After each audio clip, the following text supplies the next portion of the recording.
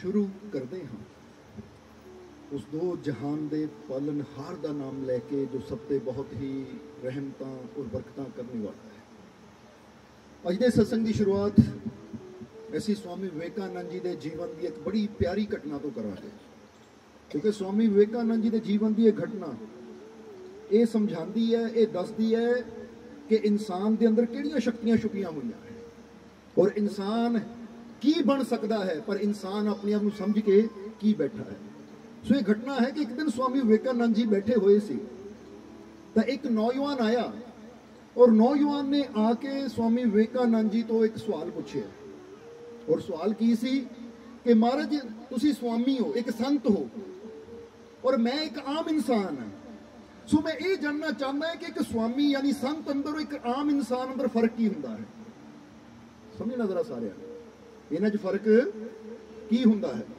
ਤਾਂ ਜਿਸ ਵੇਲੇ ਉਹਨੇ ਸਵਾਲ ਕੀਤਾ ਕਿ ਮੈਨੂੰ ਇਹਦਾ ਜਵਾਬ ਦਿਓ, ਤਾਂ ਉਸ ਵੇਲੇ ਸਵਾਮੀ ਵਿਵੇਕਾਨੰਦ ਜੀ ਕਹਿੰਦੇ, ਮੁਸਕਰਾ ਕੇ, ਕਹਿੰਦੇ ਆ ਨੌਜਵਾਨ, ਇਹਦਾ ਜਵਾਬ ਮੈਂ ਤੈਨੂੰ ਬੋਲ ਕੇ ਨਹੀਂ ਦੇਣਾ। ਚੱਲ ਮੈਂ ਤੈਨੂੰ ਕੁਝ ਦਿਖਾਣਾ ਚਾਹੁੰਦਾ ਹਾਂ। ਔਰ ਦੇਖਦਿਆਂ ਦੇਖਦਿਆਂ ਤੈਨੂੰ ਸਮਝਾ ਵੀ ਦੇਵਾਂਗੇ ਤੇਰੇ ਸਵਾਲ ਦਾ ਜਵਾਬ। ਕਹਿੰਦੇ, ਉੱਠੇ ਸਵਾਮੀ ਵਿਵੇਕਾਨੰਦ ਜੀ। ਔਰ ਇੱਕ ਤਰਫ ਚੱਲ ਪਏ। ਉਹ ਨੌਜਵਾਨ ਨੂੰ ਨਾਲ ਲਿਆ। ਚਲਦਿਆਂ ਚਲਦਿਆਂ ਚਲਦਿਆਂ ਚਲਦਿਆਂ ਸਵਾਮੀ ਵਿਵੇਕਾਨੰਦ ਜੀ ਕਿੱਥੇ ਪਹੁੰਚੇ? ਜਿੱਥੇ ਇੱਕ ਮੂਰਤੀਕਾਰ ਦੀ ਦੁਕਾਨ ਸੀ। ਮੂਰਤੀਕਾਰ, ਜਿਹਦਾ ਕੰਮ ਹੁੰਦਾ ਪੱਥਰਾਂ ਨੂੰ ਘੜ ਕੇ ਇੱਕ ਸੁੰਦਰ ਮੂਰਤੀ ਬਣਾ ਦੇਣਾ। ਹੁਣ ਉਸ ਮੂਰਤੀਕਾਰ ਦੀ ਦੁਕਾਨ ਦੇ ਬਾਹਰ ਕੁਝ ਪੱਥਰ ਪਏ ਹੋਏ ਸੀ। ਔਰ ਉਹ ਪੱਥਰ ਅਣਘੜਤ ਸੀ। ਜਿਨ੍ਹਾਂ ਨੂੰ ਹਾਲੇ ਘੜਨ ਦੀ ਜ਼ਰੂਰਤ ਸੀ, ਜਿਨ੍ਹਾਂ ਨੂੰ ਘੜਨਾ ਸੀ ਉਸਨੇ। ਔਰ ਕੁਝ ਪੱਥਰ ਉਹਦੇ ਦੁਕਾਨ ਦੇ ਅੰਦਰ ਐਸੇ ਪਏ ਸੀ, ਜਿਨ੍ਹਾਂ ਨੂੰ ਮੂਰਤੀ ਬਣਾ ਚੁੱਕਾ ਸੀ। ਯਾਨੀ ਜਿਨ੍ਹਾਂ ਚੋਂ ਮੂਰਤੀ ਪ੍ਰਗਟ ਹੋ ਚੁੱਕੀ ਸੀ। ਸਮਝਣਾ ਜ਼ਰਾ। ਇਹ ਸਮਝੋ ਉਸੇ ਤਰ੍ਹਾਂ ਜਿਸ ਤਰ੍ਹਾਂ ਇੱਕ ਕੁਮਾਰ ਦੇ ਬਾਹਰ, ਘਰ ਦੇ ਬਾਹਰ ਮਿੱਟੀ ਪਈ ਹੁੰਦੀ ਹੈ, ਤਾਂ ਘਰ ਦੇ ਅੰਦਰ ਘੜੇ ਵੀ ਪਏ ਹੁੰਦੇ। ਹੁਣ ਉਹ ਘੜੇ ਤਾਂ ਮਿੱਟੀ 'ਚ ਫ਼ਰਕ ਕੀ ਹੈ? ਫ਼ਰਕ ਇੰਨਾ ਹੀ ਹੈ ਕਿ ਉਹ ਮਿੱਟੀ ਹਾਲੇ ਅਣਘੜਤ ਹੈ। ਪਰ ਉਹ ਜਿਹੜੇ ਘੜੇ ਹੈ, ਉਹਨਾਂ ਨੂੰ ਕੁਮਾਰ ਨੇ ਆਪਣੀ ਮਿਹਨਤ ਨਾਲ ਘੜ ਦਿੱਤਾ ਹੈ। ਯਾਨੀ ਸੀਗੀ ਉਹ ਵੀ ਮਿੱਟੀ। ਪਰ ਆਪਣੀ ਮਿਹਨਤ ਨਾਲ ਉਹ ਮਿੱਟੀ ਨੂੰ ਘੜਾ ਬਣਾ ਕੇ ਉਹਦੀ ਕੀਮਤ ਨੂੰ ਵਧਾ ਦਿੱਤਾ। ਹੁਣ ਇਸੇ ਤਰ੍ਹਾਂ ਉਹ ਮੂਰਤੀਕਾਰ ਦੀ ਦੁਕਾਨ ਦੇ ਬਾਹਰ ਪੱਥਰ ਪਏ ਸੀ, ਜਿਨ੍ਹਾਂ ਦੀ ਹੱਲੇ ਮੂਰਤੀ ਤਿਆਰ ਹੋਣੀ ਸੀ।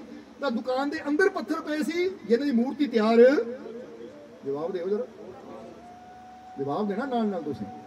ਕਿਉਂਕਿ ਤੁਸੀਂ satsang ਸੁਣਨ ਨਹੀਂ ਆਏ, satsang ਕਰਨ ਆਏ ਹੋ। ਇਹਦੇ ਜਵਾਬ ਨਾਲ ਦੇਣਾ। ਅੰਦਰ ਕਿਹੜੀ, ਕਿਹੜੇ ਪੱਥਰ ਪਏ ਸੀ, ਜਿਨ੍ਹਾਂ ਦੀ ਮੂਰਤੀ ਤਿਆਰ ਹੋ ਚੁੱਕੀ ਸੀ? ਹੁਣ ਸਵਾਮੀ ਵਿਵੇਕਾਨੰਦ ਜੀ ਦੁਕਾਨ ਦੇ ਕੋਲ ਖੜੇ ਹੋਏ ਔਰ ਉਸ ਨੌਜਵਾਨ ਨੂੰ ਕਹਿੰਦੇ ਆ ਕਿ ਇਹ ਨੌਜਵਾਨ, ਤੇਰਾ ਸਵਾਲ ਸੀ ਕਿ ਇੱਕ ਆਮ ਇਨਸਾਨ ਅੰਦਰ ਔਰ ਇੱਕ ਸੰਤ ਅੰਦਰ ਫ਼ਰਕ ਕੀ ਹੁੰਦਾ ਹੈ? ਸਮਝਦੇ ਹੋ ਕਿ ਨਹੀਂ? ਕਹਿੰਦੇ, ਹੁਣ ਤੇਰੇ ਸਵਾਲ ਦਾ ਜਵਾਬ ਦਈਏ, ਤਾਂ ਦੇਖ ਇੱਕ ਆਮ ਇਨਸਾਨ ਇਸ ਪੱਥਰ ਦੀ ਤਰ੍ਹਾਂ ਹੈ ਜੋ ਦੁਕਾਨ ਦੇ ਬਾਹਰ ਪਿਆ ਹੈ। ਸਮਝਦੇ ਹੋ ਕਿ ਨਹੀਂ?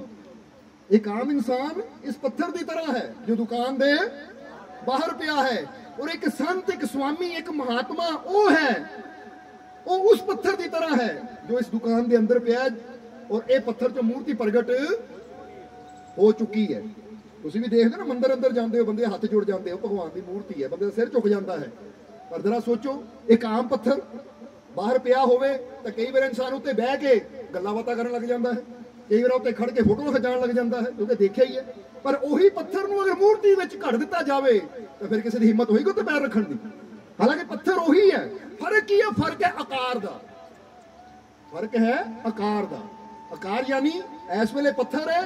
ਹੁਣ ਉਹਦੇ ਅੰਦਰੋਂ ਪ੍ਰਭੂ ਦੀ ਪ੍ਰਤਿਮਾ ਦਾ ਆਕਾਰ ਪ੍ਰਗਟ ਹੋ ਗਿਆ ਤਾਂ ਪੱਥਰ ਦੀ ਵੈਲਿਊ ਕਈ ਗੁਣਾ ਵੱਧ ਗਈ। ਇਸ ਲਈ ਸਵਾਮੀ ਵਿਵੇਕਾਨੰਦ ਜੀ ਨੇ ਕਿਹਾ, ਤੂੰ ਪੁੱਛਿਆ, ਫ਼ਰਕ ਕੀ ਹੈ? ਬਸ ਫ਼ਰਕ ਇਹੀ ਹੈ। ਫ਼ਰਕ ਇਹੀ ਹੈ ਕਿ ਇੱਕ ਅੰਦਰ ਭਗਵਾਨ ਪ੍ਰਗਟ ਹੋ ਚੁੱਕਾ ਹੈ ਤੇ ਇੱਕ ਅੰਦਰ ਹਾਲੇ ਪ੍ਰਗਟ ਹੋਣ ਦੀ ਸੰਭਾਵਨਾ ਹੈ। ਪਰ ਉੱਥੇ ਹਾਲੇ ਪ੍ਰਗਟ ਨਹੀਂ ਹੋਇਆ, ਪਰ ਸੰਭਾਵਨਾ ਹੈ। ਯਾਨੀ ਇਸ ਪੱਥਰ ਅੰਦਰ ਵੀ ਜਿਹੜਾ ਅਨਘੜਤ ਹੈ, ਇਹਦੇ ਅੰਦਰ ਵੀ ਉਹ ਮੂਰਤੀ ਛੁਪੀ ਹੈ। ਪਰ ਇਹ ਪ੍ਰਗਟ ਹੋਣੋਂ ਉਦੋਂ ਹੋਣੀ ਹੈ ਜਦੋਂ ਇਹ ਸੱਟ ਸਹਿਣ ਨੂੰ ਤਿਆਰ ਹੋਏਗਾ, ਸੱਟਾਂ ਖਾਣ ਨੂੰ ਤਿਆਰ ਹੋਏਗਾ। ਜਿਹਨੇ ਸੱਟਾਂ ਖਾਧੀਆਂ, ਜਿਹੜਾ ਘੜਨ ਨੂੰ, ਦਰਦ ਚੱਲਣ ਨੂੰ ਤਿਆਰ ਹੋ ਗਿਆ, ਪੀੜਾ ਚੱਲਣ ਨੂੰ ਤਿਆਰ ਹੋ ਗਿਆ, ਉਹ ਮੂਰਤੀ ਬਣ ਕੇ ਬੈਠਾ ਹੈ, ਜਿਹਦੇ ਅੱਗੇ ਦੁਨੀਆ ਝੁਕਦੀ ਹੈ। ਔਰ ਸਵਾਮੀ ਵਿਵੇਕਾਨੰਦ ਜੀ ਨੇ ਦੂਸਰੀ ਗੱਲ ਬੜੀ ਪਿਆਰੀ ਕਹੀ। ਕਹਿੰਦੇ ਹੁਣ ਇਹ ਵੀ ਸਮਝ ਲੈ ਕਿ ਇੱਕ ਪੱਥਰ ਅਨਕੜਤ ਹੈ ਔਰ ਦੂਸਰਾ ਪੱਥਰ ਘੜਿਆ ਹੋਇਆ ਹੈ। ਜਿਹਦੇ ਚ ਮੂਰਤੀ ਹੈ। ਹੁਣ ਇਹ ਪੱਥਰ ਇੱਕ ਦੂਜੇ ਨੂੰ ਘੜ ਨਹੀਂ ਸਕਦੇ।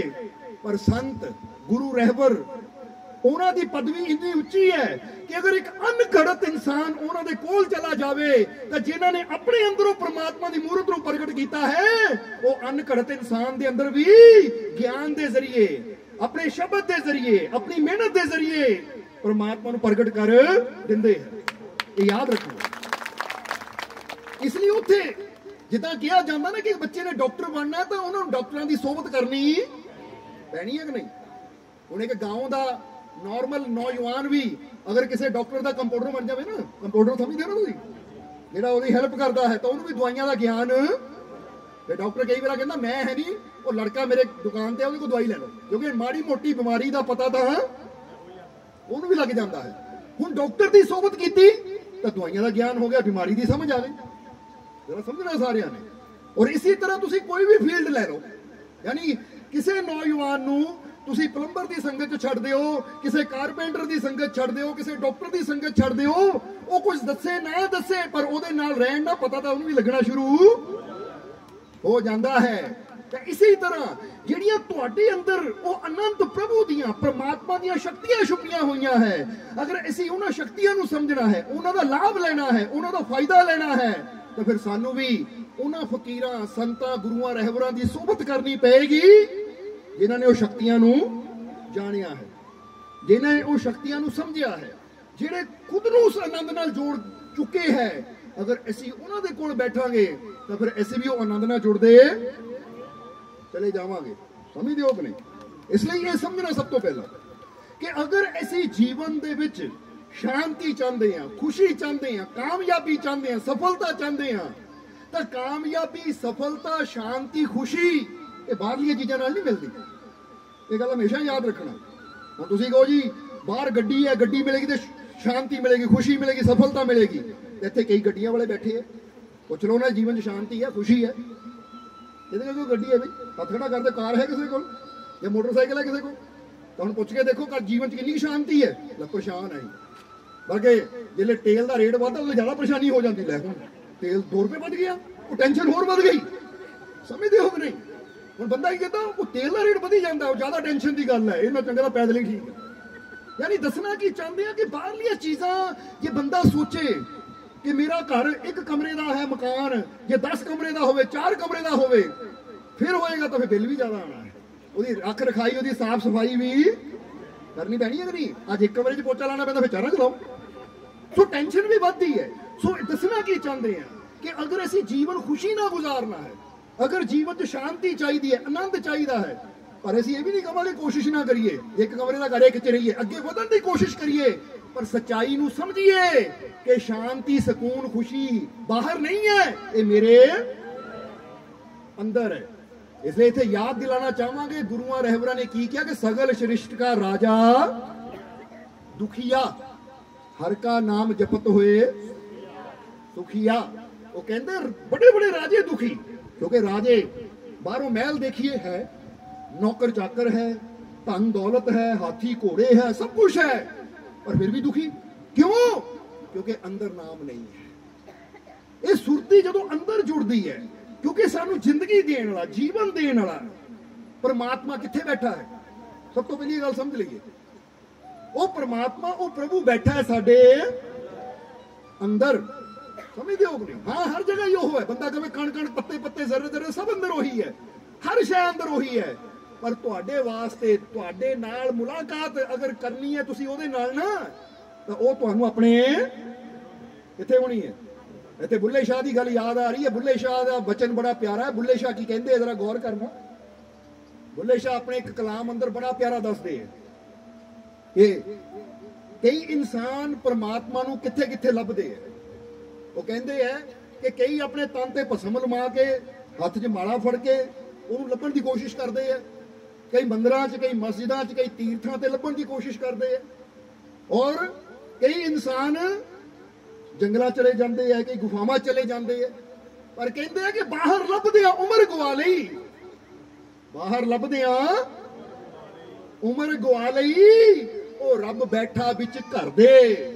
ਉਹ ਬੁੱਲੇ ਸ਼ਾਹ ਰੱਬ ਉਹਨਾਂ ਨੂੰ ਮਿਲਦਾ ਜੋ ਫਕਰਾਂ ਦੀ ਸੋਬਤ ਕਰਦੇ। ਤੂੰ ਬੁੱਲੇ ਸ਼ਾਹ ਕਹਿੰਦੇ, ਰੱਬ ਤਾਂ ਤੇਰੇ ਘਰ 'ਚ ਬੈਠਾ ਹੈ। ਤੂੰ ਬਾਹਰ ਲੱਭਦੇ ਆ। ਸਾਰੀ ਉਮਰ ਗਵਾ ਲਈ। ਕੋਈ ਕਿਤੇ ਦੌੜ ਰਿਹਾ, ਕੋਈ ਕਿਤੇ ਦੌੜ ਰਿਹਾ ਹੈ। ਕੋਈ ਕਹਿੰਦਾ ਮੈਂ ਇੰਨੀ ਵਾਰ ਹੱਜ ਕਰ ਚੁੱਕਾ ਹਾਂ, ਕੋਈ ਕਹਿੰਦਾ ਮੈਂ ਇੰਨੀ ਵਾਰ ਤੀਰਥ ਯਾਤਰਾ ਕਰ ਚੁੱਕਾ ਹਾਂ, ਪਰ ਪੁੱਛੋ ਰੱਬ ਮਿਲਿਆ। ਹਾਲਾਂਕਿ ਹੰਕਾਰ ਵਧ ਜਾਂਦਾ ਹੈ ਕਿ ਲੈ ਵੀ ਮੈਂ 10 ਵਾਰ ਤੀਰਥ ਯਾਤਰਾ ਕੀਤੀ, ਮੈਂ 10 ਵਾਰ ਹੱਜ ਕੀਤਾ।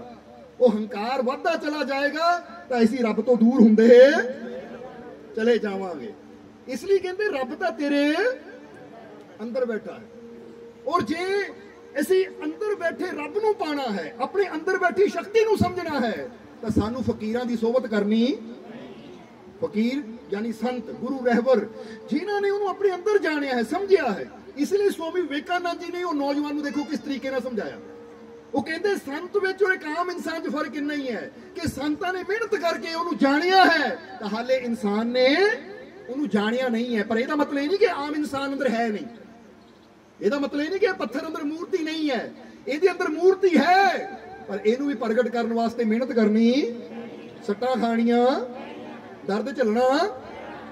ਪਰ ਅੱਜ ਇਨਸਾਨ ਹੈ ਇਹ ਦਰਦ ਝੱਲਣ ਨੂੰ ਤਿਆਰ ਨਹੀਂ। ਬੋਲੋ, ਸਮਝ ਲਓ ਜ਼ਰਾ। ਹੁੰਦਾ ਕਿ ਨਹੀਂ ਇਦਾਂ 10 ਮਿੰਟ ਧਿਆਨ ਤੇ ਬੈਠਾ, ਗੋਡੇ ਬੜੇ ਦੁਖਦੇ। ਮੇਰੇ ਤੋਂ ਨਹੀਂ ਬੈਠ ਹੁੰਦਾ। ਤਾਂ ਕੋਈ ਪੁੱਛੇ, ਭਾਈ ਟੀਵੀ ਦੇਖਣ ਲੱਗਿਆ ਨਹੀਂ? ਤੇਰੇ ਦਰਦਾਂ ਹੁੰਦੀਆਂ ਫਿਲਮ ਭਾਵੇਂ ਤਿੰਨ ਤਿੰਨ ਘੰਟੇ ਬਹਿ ਕੇ ਦੇਖਣੀ ਹੋਵੇ ਤਾਂ ਉਹ ਦੇਖ ਹੋ ਜਾਂਦੀ ਹੈ ਨਿੰਦਿਆ ਚੁਗਲੀ ਕਰਨੀ ਹੋਵੇ, ਇੱਧਰਲੀ ਗੱਲ ਉੱਧਰ ਕਰਨੀ ਹੋਵੇ, ਫਿਰ ਤਾਂ ਚਰਚਾ ਚਲੀ ਜਾਂਦੀ ਹੈ ਗੱਲ ਤਾਂ ਉਦੋਂ ਹੀ ਆਉਂਦੀ ਹੈ ਹਮੇਸ਼ਾ ਯਾਦ ਰੱਖੋ ਕਿ ਦਰਦ ਉਦੋਂ ਹੀ ਹੁੰਦਾ ਹੈ ਜਦੋਂ ਕੁਝ ਤੁਸੀਂ ਬਿਹਤਰ ਕਰਦੇ ਹੋ। ਸਮਝਦੇ ਹੋ ਕਿ ਨਹੀਂ?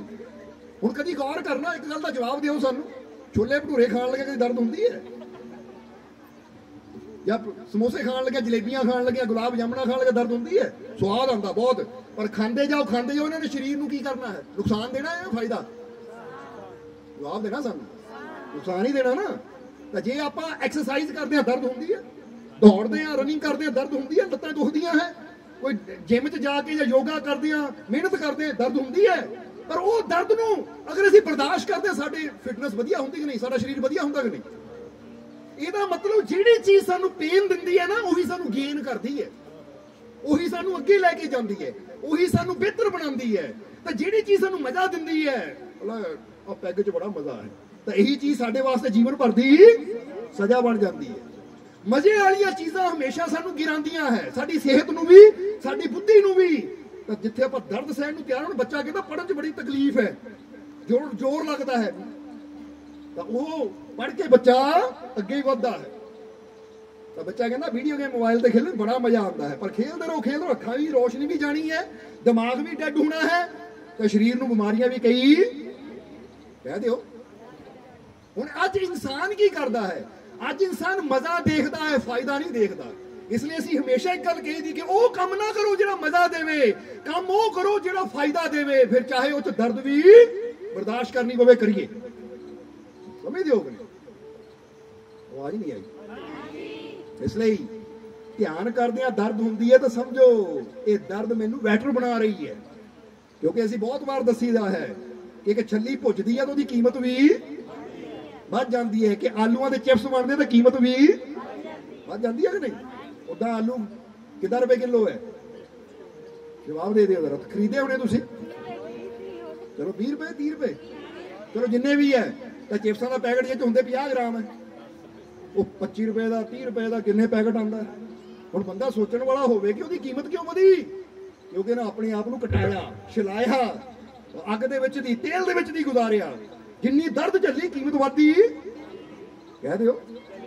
ਸੋ ਹੁਣ ਅਸੀਂ ਪਹਿਲਾਂ ਤਾਂ ਆਪਣੇ ਆਪ ਨੂੰ ਇੱਕ ਗੱਲ ਪੁੱਛੋ ਕਿ ਮੈਂ ਆਪਣੀ ਕੀਮਤ ਗਿਰਾਣਾ ਚਾਹੁੰਦਾ ਜਾਂ ਵਧਾਉਣਾ ਚਾਹੁੰਦਾ ਪੁੱਛੋ ਆਪਣੇ ਆਪ ਨੂੰ। ਮੈਂ ਆਪਣੇ ਜੀਵਨ ਨੂੰ ਬਿਹਤਰ ਬਣਾਉਣਾ ਚਾਹੁੰਦਾ ਹਾਂ। ਮੈਂ ਆਪਣੀ ਸਿਹਤ ਨੂੰ ਅੱਛਾ ਬਣਾਉਣਾ ਚਾਹੁੰਦਾ ਜਾਂ ਆਪਣੀ ਸਿਹਤ ਨੂੰ ਗਿਰਾਉਣਾ ਚਾਹੁੰਦਾ ਹਾਂ ਜਵਾਬ ਦੇ ਦਿਓ ਜ਼ਰਾ ਸੋਚ ਕੇ। ਅੱਛਾ ਬਣਾਉਣਾ ਚਾਹੁੰਦੇ ਹੋ? ਤਾਂ ਫਿਰ ਸੋਚ ਲਓ ਕਿਹੜੀ ਕਿਹੜੀ ਚੀਜ਼ ਤੁਹਾਡੀ ਸਿਹਤ ਨੂੰ ਗਿਰਾਉਣ ਵਾਲੀ ਹੈ? ਉਹਨਾਂ ਸਵਾਦਾਂ ਨੂੰ ਛੱਡੀਏ। ਸਮਝਦੇ ਹੋ ਕਿ ਨਹੀਂ? ਉਹਨਾਂ ਚੀਜ਼ਾਂ ਦਾ ਤਿਆਗ ਕਰੀਏ, ਜਿਹੜੀ ਚੀਜ਼ ਮੇਰੀ ਸਿਹਤ ਨੂੰ ਗਿਰਾਉਂਦੀ ਹੈ। ਕੋਈ ਨਸ਼ਾ ਹੈ ਚਾਹੇ ਬੀੜੀ ਸਿਗਰਟ ਹੈ, ਤਮਾਕੂ ਹੈ, ਚਾਹੇ ਕੋਈ ਬੰਦਾ ਜ਼ਿਆਦਾ ਮਿੱਠਾ ਖਾਂਦਾ ਹੈ, ਚਾਹੇ ਤਲੀਆਂ ਚੀਜ਼ਾਂ ਖਾਂਦਾ ਹੈ, ਹੁਣ ਇੰਨੀ ਕਿ ਸਮਝ ਤਾਂ ਰੱਬ ਨੇ ਸਾਨੂੰ ਸਾਰਿਆਂ ਨੂੰ ਦਿੱਤੀ ਹੈ ਕਿ ਸਾਨੂੰ ਇਹ ਪਤਾ ਹੈ ਕਿ ਆਹ ਚੀਜ਼ ਮੈਨੂੰ ਗਿਰਾਉਣ ਵਾਲੀ ਤਾਂ ਆਹ ਚੀਜ਼ ਮੈਨੂੰ ਉਠਾਉਣ ਵਾਲੀ ਹੈ। ਸਮਝਦੇ ਹੋ ਕਿ ਨਹੀਂ? ਹੁਣ ਜੇ ਚਾਹੁੰਦੇ ਅਸੀਂ ਖੁਸ਼ੀ ਆ ਤੰਦਰੁਸਤੀ ਆ ਤਾਂ ਫਿਰ ਅਸੀਂ ਉਹ ਚੀਜ਼ ਨੂੰ ਅਪਣਾਈਏ ਜਿਹੜੀ ਸਾਨੂੰ ਉਠਾਉਣ ਵਾਲੀ ਹੋਵੇ। ਸਮਝਦੇ ਹੋ ਕਿ ਨਹੀਂ? ਹੁਣ ਸਵੇਰੇ ਸਵੇਰੇ ਉੱਠ ਕੇ ਬੰਦਾ ਕਹਿੰਦਾ ਆ ਚਾਹ ਵੀ ਆਵੇ ਤੇ ਨਾਲ ਬੇਸਣ ਲੱਡੂ ਵੀ ਆਵੇ। ਹਾਲਾਂਕਿ ਪਤਾ ਹੈ ਚੀਜ਼ਾਂ, ਇਸ ਲਈ ਇਹਦੇ ਨਾਲ ਚੰਗਾ ਸਵੇਰੇ ਸਵੇਰੇ ਉੱਠ ਕੇ ਨਾ ਨਿੰਮ ਦੇ ਕੋਲੇ ਕੋਲੇ ਤਿੰਨ ਚਾਰ ਪੱਤੇ ਤੋੜ ਕੇ ਚਵਾ ਕੇ ਖਾਓ, ਨਾਲ ਗਰਮ ਪਾਣੀ ਪੀਓ। ਦੇਖੋ ਤਾਂ ਸਿਹਤ ਕਿੰਨੀ ਅੱਛੀ ਹੁੰਦੀ ਹੈ। ਕਈ ਬਿਮਾਰੀਆਂ ਦੂਰ ਕਰ, ਨਹੀਂ, ਕੋੜਾ। ਕੋੜਾ, ਮੈਂ ਨਹੀਂ ਖਾ ਸਕਦਾ। ਉਹ ਭਾਈ, ਜੇ ਜੀਵਨ ਚ ਤੰਦਰੁਸਤੀ ਚਾਹੀਦੀ ਹੈ, ਫਿਟਨੈਸ ਚਾਹੀਦੀ ਹੈ, ਅੱਛਾ ਬ੍ਰੇਨ ਚਾਹੀਦਾ ਹੈ, ਅੱਛੀ ਬਾਡੀ ਚਾਹੀਦੀ ਹੈ, ਯਾਨੀ ਦਿਮਾਗ ਅੱਛਾ, ਸਰੀਰ ਅੱਛਾ, ਸਿਹਤ ਅੱਛੀ, ਤਾਂ ਫਿਰ ਦਰਦ ਵੀ ਚੱਲਣਾ ਫਿਰ ਚੀਜ਼ਾਂ ਉਹਨਾਂ ਦਾ ਇਸਤੇਮਾਲ ਕਰਨਾ ਪੈਣਾ, ਜਿਹੜੀਆਂ ਸਵਾਦ ਨਹੀਂ ਨੇ। ਕਿਉਂਕਿ ਇਹ ਗੱਲ ਹਮੇਸ਼ਾ ਯਾਦ ਰੱਖੋ ਕਿ ਜਿਹੜੀਆਂ ਚੀਜ਼ਾਂ 'ਚ ਸਵਾਦ ਹੈ ਉਹ 'ਚ ਫਾਇਦਾ ਨਹੀਂ ਹੈ ਤੇ ਜਿਹਨਾਂ 'ਚ ਫਾਇਦਾ ਹੈ, ਉਹਨਾਂ 'ਚ ਕਹਿ ਦਿਓ, ਸਵਾਦ ਨਹੀਂ ਹੈ। ਹਰੀਆਂ ਸਬਜ਼ੀਆਂ ਖਾਣੀਆਂ ਔਖੇ ਲੱਗਦੇ ਪੀਜ਼ੇ ਖਾਣੇ ਸਵਾਦ ਹੈ ਬਈ, ਪੀਜ਼ਾ ਖਾਣਾ ਸਵਾਦ ਹੈ ਨਾ। ਪਰ ਫਿਰ ਕਹਾਂਗੇ ਇਹ ਪ੍ਰਮਾਤਮਾ ਦੇ ਨਾਮ 'ਚ ਬੜਾ ਫਾਇਦਾ ਹੈ, ਪਰ ਨਾਮ ਲੈਣਾ ਬੰਦੇ ਨੂੰ ਕੋੜਾ ਲੱਗਦਾ ਹੈ। ਨਾਮ ਤੇ ਨਹੀਂ ਬੈਠ ਹੁੰਦਾ। ਤਾਂ ਨਿੰਦਿਆ ਚੁਗਲੀ ਇਹ ਇਨਸਾਨ ਦੀ ਜ਼ਿੰਦਗੀ ਨੂੰ ਇਨਸਾਨ ਦੇ ਘਰਾਂ ਨੂੰ ਬਰਬਾਦ ਕਰ ਦਿੰਦੀ ਹੈ, ਪਰ ਇਹ ਸਾਨੂੰ ਸਵਾਦ ਆਉਂਦਾ। ਫਿਰ ਆਪਾਂ ਕਹਿੰਦੇ, ਭੈਣ, ਦੋ ਚਾਰ ਗੱਲਾਂ ਹੋਰ ਸੁਣਾ ਦੇ। ਭਰਾਵਾ, ਦੋ ਚਾਰ ਗੱਲਾਂ ਹੋਰ ਦੱਸ ਦੇ। ਫਲਾਣੇ ਦੀ ਕੁੜੀ ਕੀ ਕਰ ਰਹੀ ਹੈ, ਫਲਾਣੇ ਦਾ ਮੁੰਡਾ ਕੀ ਕਰ ਰਿਹਾ ਉਹ ਭਾਈ, ਦੂਜਿਆਂ ਦੀਆਂ ਗੱਲਾਂ ਕਰੀ ਜਾਏਗਾ। ਇੰਨੀ ਤੇ ਕੋਈ ਜ਼ਿੰਦਗੀ ਨਹੀਂ ਹੈ, ਇੰਨਾ ਤੇ ਕੋਈ ਸਮਾਂ ਨਹੀਂ ਹੈ ਕਿ ਦੂਜਿਆਂ ਦੀਆਂ ਗੱਲਾਂ ਕਰਨ 'ਚ ਬਰਬਾਦ ਕਰੀ ਜਾਵੇ। ਬਲਕਿ ਤੈਨੂੰ ਚਾਹੀਦਾ ਕਿ ਜਿਹੜਾ ਟਾਈਮ ਮੈਂ ਦੂਜਿਆਂ ਦੀਆਂ ਗੱਲਾਂ ਕਰਨ 'ਚ ਬਰਬਾਦ ਕਰ ਰਿਹਾ ਉਹ ਟਾਈਮ ਮੈਂ ਆਪਣੇ ਤੇ ਲਾਵਾਂ।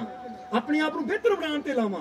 ਆਪਣੇ ਆਪ ਤੇ ਕੁਝ ਮਿਹਨਤ ਕਰਾਂ ਕਿ ਇਹ ਟਾਈਮ ਨਾਲ ਮੈਂ ਕੁਝ ਐਸਾ ਕਰ ਲਵਾਂ ਕਿ ਮੇਰੀ ਜ਼ਿੰਦਗੀ ਅੱਛੀ ਹੋ ਜਾਵੇ। ਸਮਝਦੇ ਹੋ ਫਿਰ ਕੀ ਹੋਏਗਾ? ਅਗਰ ਆਪਣੇ ਤੇ ਮਿਹਨਤ ਕਰੋਗੇ ਨਾ, ਤਾਂ ਤੁਹਾਡੀ ਜ਼ਿੰਦਗੀ ਦੇਖੋ, ਬਿਹਤਰ ਹੁੰਦੀ ਜਾਏਗੀ, ਤੁਹਾਡੀ ਵੈਲਿਊ ਵਧਦੀ। ਕਹਿ ਦਿਓ। ਹੁਣ ਵੈਲਿਊ ਵਧਾਣੀ ਹੈ ਨਾ, ਤਾਂ ਥੋੜਾ ਸੋਚ ਸਮਝ ਕੇ। ਕੋਈ ਵੀ ਚੀਜ਼ ਖਾਣੀ ਹੈ, ਪਹਿਲਾਂ ਸੋਚੋ, ਇਹ ਸਵਾਦ ਹੈ ਜਾਂ ਫਾਇਦਾ ਹੈ? ਜੇ ਫਾਇਦਾ ਹੈ, ਫਿਰ ਖਾਈਏ, ਜੇ ਸਵਾਦ ਹੈ, ਤਾਂ ਛੱਡੀਏ। ਕਿਉਂਕਿ ਸਵਾਦਾਂ ਵਾਸਤੇ ਨਹੀਂ ਅਸੀਂ ਇਹ ਜ਼ਿੰਦਗੀ ਮਿਲੀ ਸਾਨੂੰ, ਇਹ ਜ਼ਿੰਦਗੀ ਮਿਲੀ ਕਿ ਇਹਨੂੰ ਬਿਹਤਰ ਬਣਾਈਏ ਦਾ ਲਾਭ ਲਈਏ। ਔਰ ਆਪ ਅਸੀਂ ਅੱਛੇ ਹੋਵਾਂਗੇ, ਤਾਂ ਫੇਰ ਹੀ ਅਸੀਂ ਕਹਿ ਦਿਓ ਦੂਜਿਆਂ ਦੇ ਜੀਵਨ ਨੂੰ ਇਹ ਸੰਸਾਰ ਨੂੰ ਅੱਛਾ ਬਣਾ ਸਕਾਂਗੇ। ਇਸ ਲਈ ਸਮਝਣਾ ਜ਼ਰਾ ਸਾਰਿਆਂ ਨੇ। ਸੋ ਬੁੱਲੇ ਸ਼ਾਹ ਨੇ ਇਹੀ ਗੱਲ ਕਹੀ ਹੈ ਕਿ ਪ੍ਰਮਾਤਮਾ ਉਹ ਪ੍ਰਭੂ, ਉਹਦੀ ਸ਼ਕਤੀ, ਉਹ ਆਨੰਦ, ਉਹ ਸ਼ਾਂਤੀ, ਉਹ ਖੁਸ਼ੀ ਤੇਰੇ ਕਿੱਥੇ ਬੈਠੀ ਹੈ? ਉਧਰ ਨਾ ਧਿਆਨ ਦਿਓ, ਇੱਧਰ ਧਿਆਨ ਦਿਓ। ਸਮਝਦੇ ਹੋ ਕਿ ਨਹੀਂ? ਉੱਥੋਂ ਗਿਆਨ ਨਹੀਂ ਮਿਲਣਾ। ਸਮਝਦੇ ਹੋ ਜਾਂ ਇਦਾਂ ਕਰਾਂਗੇ, ਬਾਅਦ ਚ ਉਹਨੂੰ ਖੜਾ ਕਰ ਦਾਂਗੇ, ਦੇਖੀ ਜਾਇਓ। ਦੇਖ ਲਓ ਭਾਈ। ਹੁਣ ਇੱਧਰ ਧਿਆਨ ਦਿਓ ਥੋੜਾ ਜਿਹਾ, ਕਿਉਂਕਿ ਜਿੱਥੋਂ ਸਮਝ ਮਿਲਣੀ ਹੈ ਨਾ, ਇਹੀ ਤਾਂ ਗੱਲ ਹੁੰਦੀ ਹੈ। ਤਾਂ ਹੀ ਤਾਂ ਬੰਦੇ ਨੂੰ ਰੱਬ ਨਜ਼ਰ ਨਹੀਂ ਆਉਂਦਾ। ਕਿਉਂ?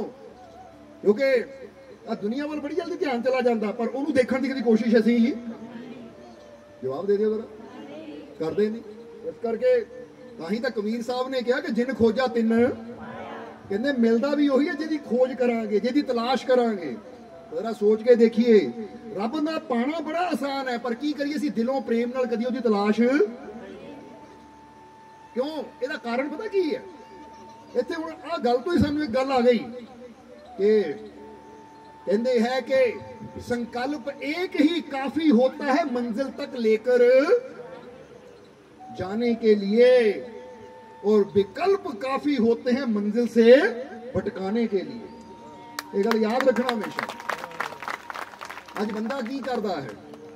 ਬੰਦੇ ਅੰਦਰ ਸੰਕਲਪ ਕਰਨ ਦੀ ਭਾਵਨਾ ਹੀ ਹੈ ਨਹੀਂ। ਬੰਦਾ ਵਿਕਲਪਾਂ 'ਚ ਫਸ ਜਾਂਦਾ ਹੈ। ਵਿਕਲਪ ਕਿਹਨੂੰ ਕਹਿੰਦੇ? ਉਹ ਸੰਕਲਪ ਕਿਹਨੂੰ ਕਹਿੰਦੇ ਆ ਇਹ ਥੋੜਾ ਸਮਝਾ ਦਈਏ ਤੁਹਾਨੂੰ। ਹੁਣ ਫਰਜ਼ ਕਰੋ, ਇੱਥੋਂ ਤੁਸੀਂ ਉਨੇ ਜਾਣਾ ਹੈ। ਤੁਹਾਡਾ ਟਾਰਗੇਟ ਮੈਂ ਜਾਣਾ ਹੀ ਉਨੇ ਹੈ। ਤੁਸੀਂ ਆਪਣੇ ਮੋਟਰਸਾਈਕਲ ਜਾਂ ਗੱਡੀ ਦੀ ਸਪੀਡ ਦਿੱਤੀ ਹੋਈ ਹੈ, ਪਤਾ ਕਿ ਇੱਥੋਂ ਉਨਾ ਇੰਨੇ ਕਿਲੋਮੀਟਰ ਹੈ 45 ਹੈ 50 ਹੈ, ਜਿੰਨਾ ਵੀ ਹੈ। ਤੁਹਾਨੂੰ ਪਤਾ ਵੀ ਉਨੇ ਜਾਣਾ, ਤੁਸੀਂ ਸਪੀਡ ਨਾਲ ਜਾ ਰਹੇ ਹੋ। ਜਾ ਰਹੇ ਹੋ ਕਿ ਨਹੀਂ? ਪਰ ਅਚਾਨਕ ਕੋਈ ਤੁਹਾਨੂੰ ਕਹਿ ਦੇਵੇ, ਓਏ ਉਨੇ ਚੱਲਾਂ। ਛੱਡ ਉਨੇ ਰਸਤੇ 'ਚ ਅੰਬ ਰੁਕ ਜਾ ਅੰਬ ਵੀ ਬੜਾ ਕੁਝ ਦੇਖਣ ਨੂੰ ਹੈ। ਅਫਲਾਨੀ ਗ੍ਰੇਡ ਵੀ ਬੜਾ ਕੁਝ ਦੇਖਣ ਨੂੰ ਹੈ। ਹੁਣ ਵਿਕਲਪ ਆ ਗਏ ਕਿ ਨਹੀਂ? ਪਹਿਲਾਂ ਇੱਕੋ ਹੀ ਸੀ ਉਨਾ ਹੁਣ ਵਿਕਲਪ ਆ ਗਏ। ਅੰਬ ਵੀ ਹੈ ਗ੍ਰੇਡ ਵੀ ਹੈ? ਹੁਣ ਤੁਹਾਡੀ ਗੱਡੀ ਦੀ ਚੌਰਾਹੇ ਵਿੱਚ ਬ੍ਰੇਕ ਲੱਗ ਜਾਣੀ, ਜਾਵਾਂ ਕਿੱਧਰ ਮੈਂ? ਗ੍ਰੇਡ ਜਾਵਾਂ, ਅੰਬ ਜਾਵਾਂ, ਸਪੀਡ ਹੌਲੀ। ਕਹਿ ਦਿਓ, ਹੋ ਗਈ ਕਿ ਨਹੀਂ?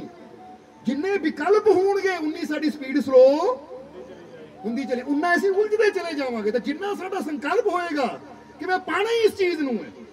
ਮੈਂ, ਮੇਰੀ ਮੰਜ਼ਿਲ ਹੀ ਇਹ ਹੈ ਉਨੀ ਸਪੀਡ ਨਾਲ ਅਸੀਂ ਉਧਰ ਵੱਧਦੇ ਚਲੇ ਜਾਵਾਂਗੇ।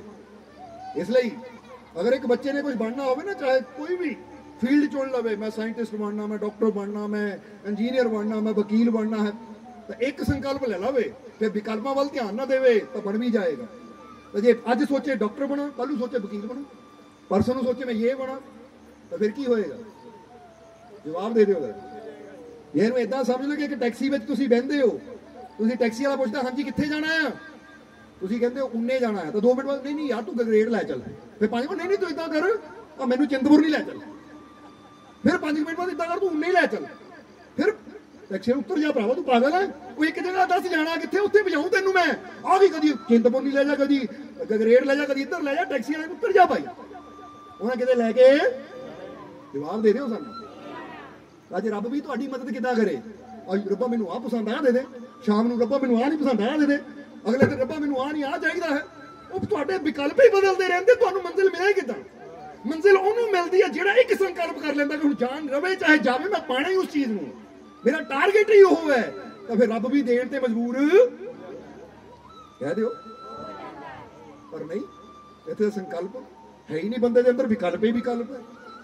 ਸਮਝਦੇ ਹੋ ਨੇ। ਇਸ ਕਰਕੇ ਅਗਰ ਮੰਜ਼ਿਲ ਨੂੰ ਪਾਣਾ ਤਾਂ ਸਭ ਤੋਂ ਪਹਿਲਾਂ ਇੱਕ ਸੰਕਲਪ ਲਓ ਕਿ ਆਹ ਚੀਜ਼ ਹਾਸਲ ਕਰਨੀ ਹੈ ਤਾਂ ਕਰਕੇ ਰਹਿਣਾ, ਫਿਰ ਚਾਹੇ ਕੁਝ ਵੀ ਕਹਿ ਦਿਓ।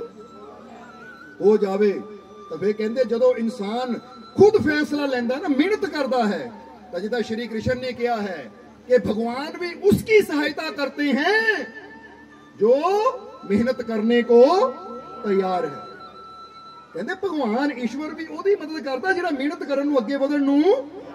ਜੇ ਤੁਸੀਂ ਕੋਸ਼ਿਸ਼ ਨਾ ਕਰੋਗੇ, ਜੇ ਤੁਸੀਂ ਮਿਹਨਤ ਕਰਨ ਨੂੰ ਤਿਆਰ ਨਹੀਂ, ਤਾਂ ਈਸ਼ਵਰ ਨੇ ਵੀ ਕੀ ਕਰਨਾ ਫਿਰ?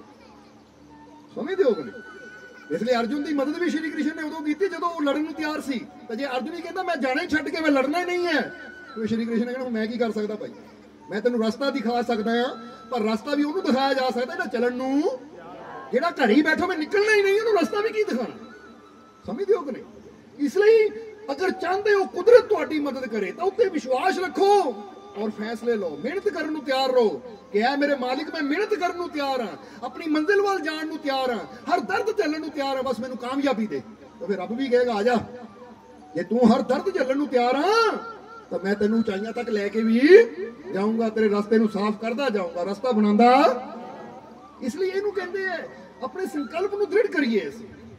ਔਰ ਕਰੂਗੇ ਕਿ ਨਹੀਂ ਹੋ ਇਹ ਸਮਝਣਾ ਜ਼ਰਾ ਸਾਰਿਆਂ ਨੂੰ।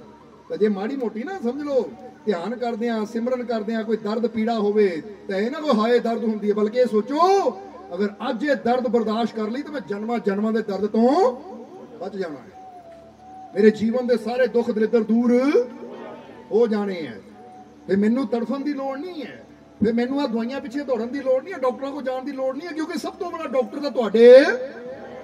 ਕਹਿ ਦਿਓ।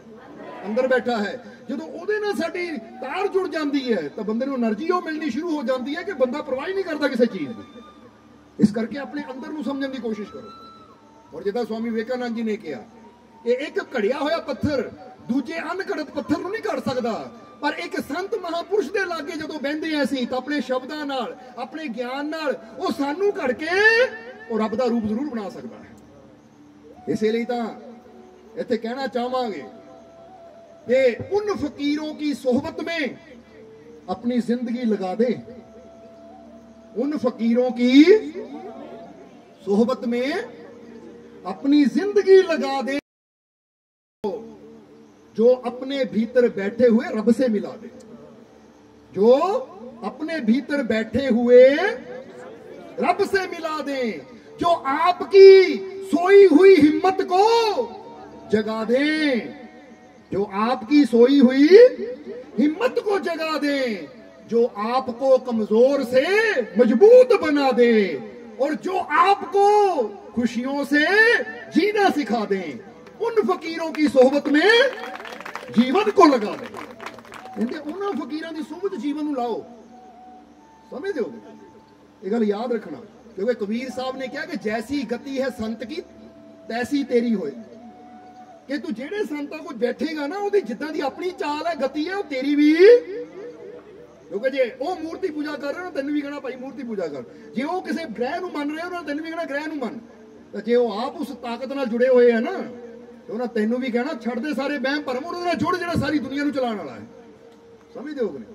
ਜੇ ਤਾਂ ਸਾਨੂੰ ਕਿਸੇ ਨੇ ਪੁੱਛਿਆ, ਮਾਲਕੋ, ਤੁਸੀਂ ਗ੍ਰਹਿਾਂ ਨੂੰ ਮੰਨਦੇ ਹੋ? ਅਸੀਂ ਕੋਈ ਗੱਲ ਕਹੀ ਹੈ ਕਿ ਅਸੀਂ ਗ੍ਰਹਿਾਂ ਨੂੰ ਨਹੀਂ ਮੰਨਦੇ। ਅਸੀਂ ਉਹਨੂੰ ਮੰਨਦੇ ਜਿਹਨਾਂ ਸਾਰੇ ਗ੍ਰਹਿ ਬਣਾਏ ਹੋਏ ਆ। ਕਿਉਂਕਿ ਇਹ ਚੀਜ਼ਾਂ ਨੂੰ ਵੀ ਮੰਨਣਾ, ਉਹਨੂੰ ਮੰਨੋ ਜਿਹੜਾ ਸਾਰਿਆਂ ਨੂੰ ਚਲਾਉਣ ਵਾਲਾ ਹੈ। ਜਦੋਂ ਤਾਕਤ ਨਾਲ ਤੁਸੀਂ ਜੁੜ ਗਏ, ਤਾਂ ਫਿਰ ਸਾਰੀ ਚੀਜ਼ ਤੁਹਾਡੇ, ਫਿਰ ਡਰ ਨਹੀਂ ਰਹਿ ਜਾਂਦਾ ਕੋਈ ਵੀ। ਸਮਝਦੇ ਹੋ? ਸੋਚ ਕੇ ਦੇਖੋ ਜ਼ਰਾ। ਇਹ ਸਮਝ ਕੇ ਦੇਖੋ।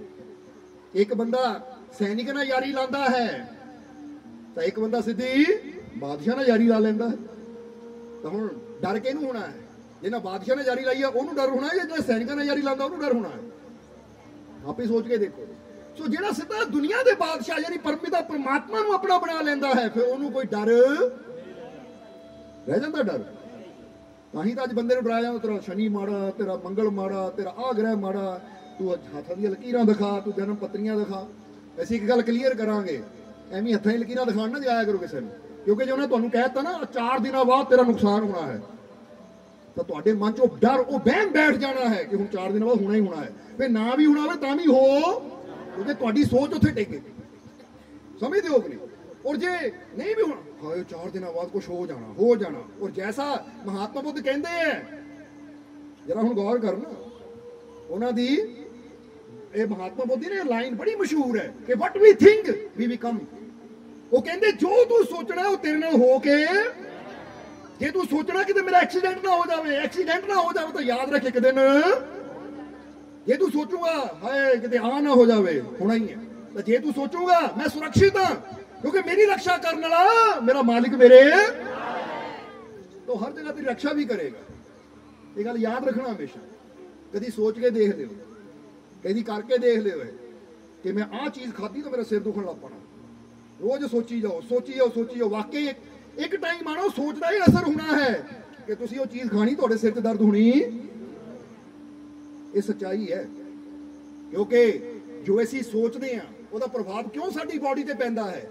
ਕਿਉਂਕਿ ਸਾਡਾ ਬ੍ਰੇਨ ਸਾਡੇ ਪੂਰੇ ਸਰੀਰ ਨੂੰ ਕੰਟਰੋਲ ਕਰਦਾ ਹੈ। ਔਰ ਬ੍ਰੇਨ ਅੰਦਰ ਕੁਝ ਗ੍ਰੰਥੀਆਂ ਹੈ। ਗ੍ਰੰਥੀਆਂ ਸਮਝਦੇ ਹੋ ਤੁਸੀਂ? ਕੁਝ ਗਲੈਂਡਸ ਹੈ, ਐਸੇ ਹੈ ਕਿ ਜਿੱਦਾਂ ਦੀ ਸਾਡੀ ਸੋਚ ਹੋਣੀ ਹੈ, ਉਹ ਗ੍ਰੰਥੀਆਂ ਨੇ ਵੈਸਾ ਰਸ ਛੱਡਣਾ ਸ਼ੁਰੂ ਕਰ ਦੇਣਾ ਹੈ। ਇਹਦਾ ਸੋਚ ਕੇ ਦੇਖੋ। ਇੱਕ ਰੱਸੀ ਹੈ, ਤੁਹਾਨੂੰ ਲੱਗਾ ਸੱਪ। ਹੁਣ ਤੁਹਾਨੂੰ ਕੀ ਲੱਗਾ? ਤੁਹਾਡੀ ਉਹ ਸੱਪ ਕਿੱਦਾਂ ਲੱਗਾ ਤੁਹਾਡੀ ਸੋਚ ਅੰਦਰ? ਆ ਉਹ ਸੱਪ! ਤਾਂ ਤੁਹਾਡਾ ਪੂਰਾ ਸਰੀਰ ਕੰਬਣਾ ਸ਼ੁਰੂ ਹੋ ਜਾਂਦਾ ਕਿ ਨਹੀਂ? ਹਾਲਾਂਕਿ ਉੱਥੇ ਸੱਪ ਫਿਰ ਜਾਣੇ ਤੁਸੀਂ ਲਾਈਟ ਜਗਾਉਂਦੇ ਹੋ। ਪਤਾ ਲੱਗੋ ਉਹ ਰੱਸੀ ਹੈ। ਤੁਹਾਡੇ ਮਨ ਨੂੰ ਪਤਾ ਲੱਗ ਗਿਆ ਸੱਪ ਨਹੀਂ ਹੈ, ਰੱਸੀ ਹੈ। ਤਾਂ ਸਾਰਾ ਡਰ ਦੂਰ ਹੋ ਗਿਆ, ਸਰੀਰ ਨਾਰਮਲ ਹੋ ਗਿਆ। ਪੂਰਾ ਸਰੀਰ ਡਰਿਆ, ਪਸੀਨੇ ਨਾਲ ਭਿੱਜ ਗਿਆ, ਜੇ ਕੰਬਣ ਲੱਗ ਗਿਆ, ਕਿਉਂ ਕੰਬਿਆ? ਕਿਉਂਕਿ ਮਨ ਨੇ ਸੋਚਿਆ ਸੱਪ ਹੈ। ਸਮਝਦੇ ਹੋ ਕਿ ਨਹੀਂ? ਇੱਥੇ ਸੋਚ ਆਈ ਤਾਂ ਪੂਰੇ ਸਰੀਰ ਤੇ ਪ੍ਰਭਾਵ ਹੈ ਗਿਆ ਹੁੰਦਾ ਕਿ ਨਹੀਂ? ਜਵਾਬ ਦੇਣਾ ਤੁਸੀਂ ਸਾਰਿਆਂ ਤਾਂ ਹੁਣ ਇੱਥੇ ਮਨ ਨੇ ਸੋਚੋ ਨਹੀਂ ਹੋਇਆ ਤਾਂ ਰੱਸੀ ਹੈ, ਤਾਂ ਪੂਰਾ ਸਰੀਰ ਨਾਰਮਲ ਹੋ ਗਿਆ।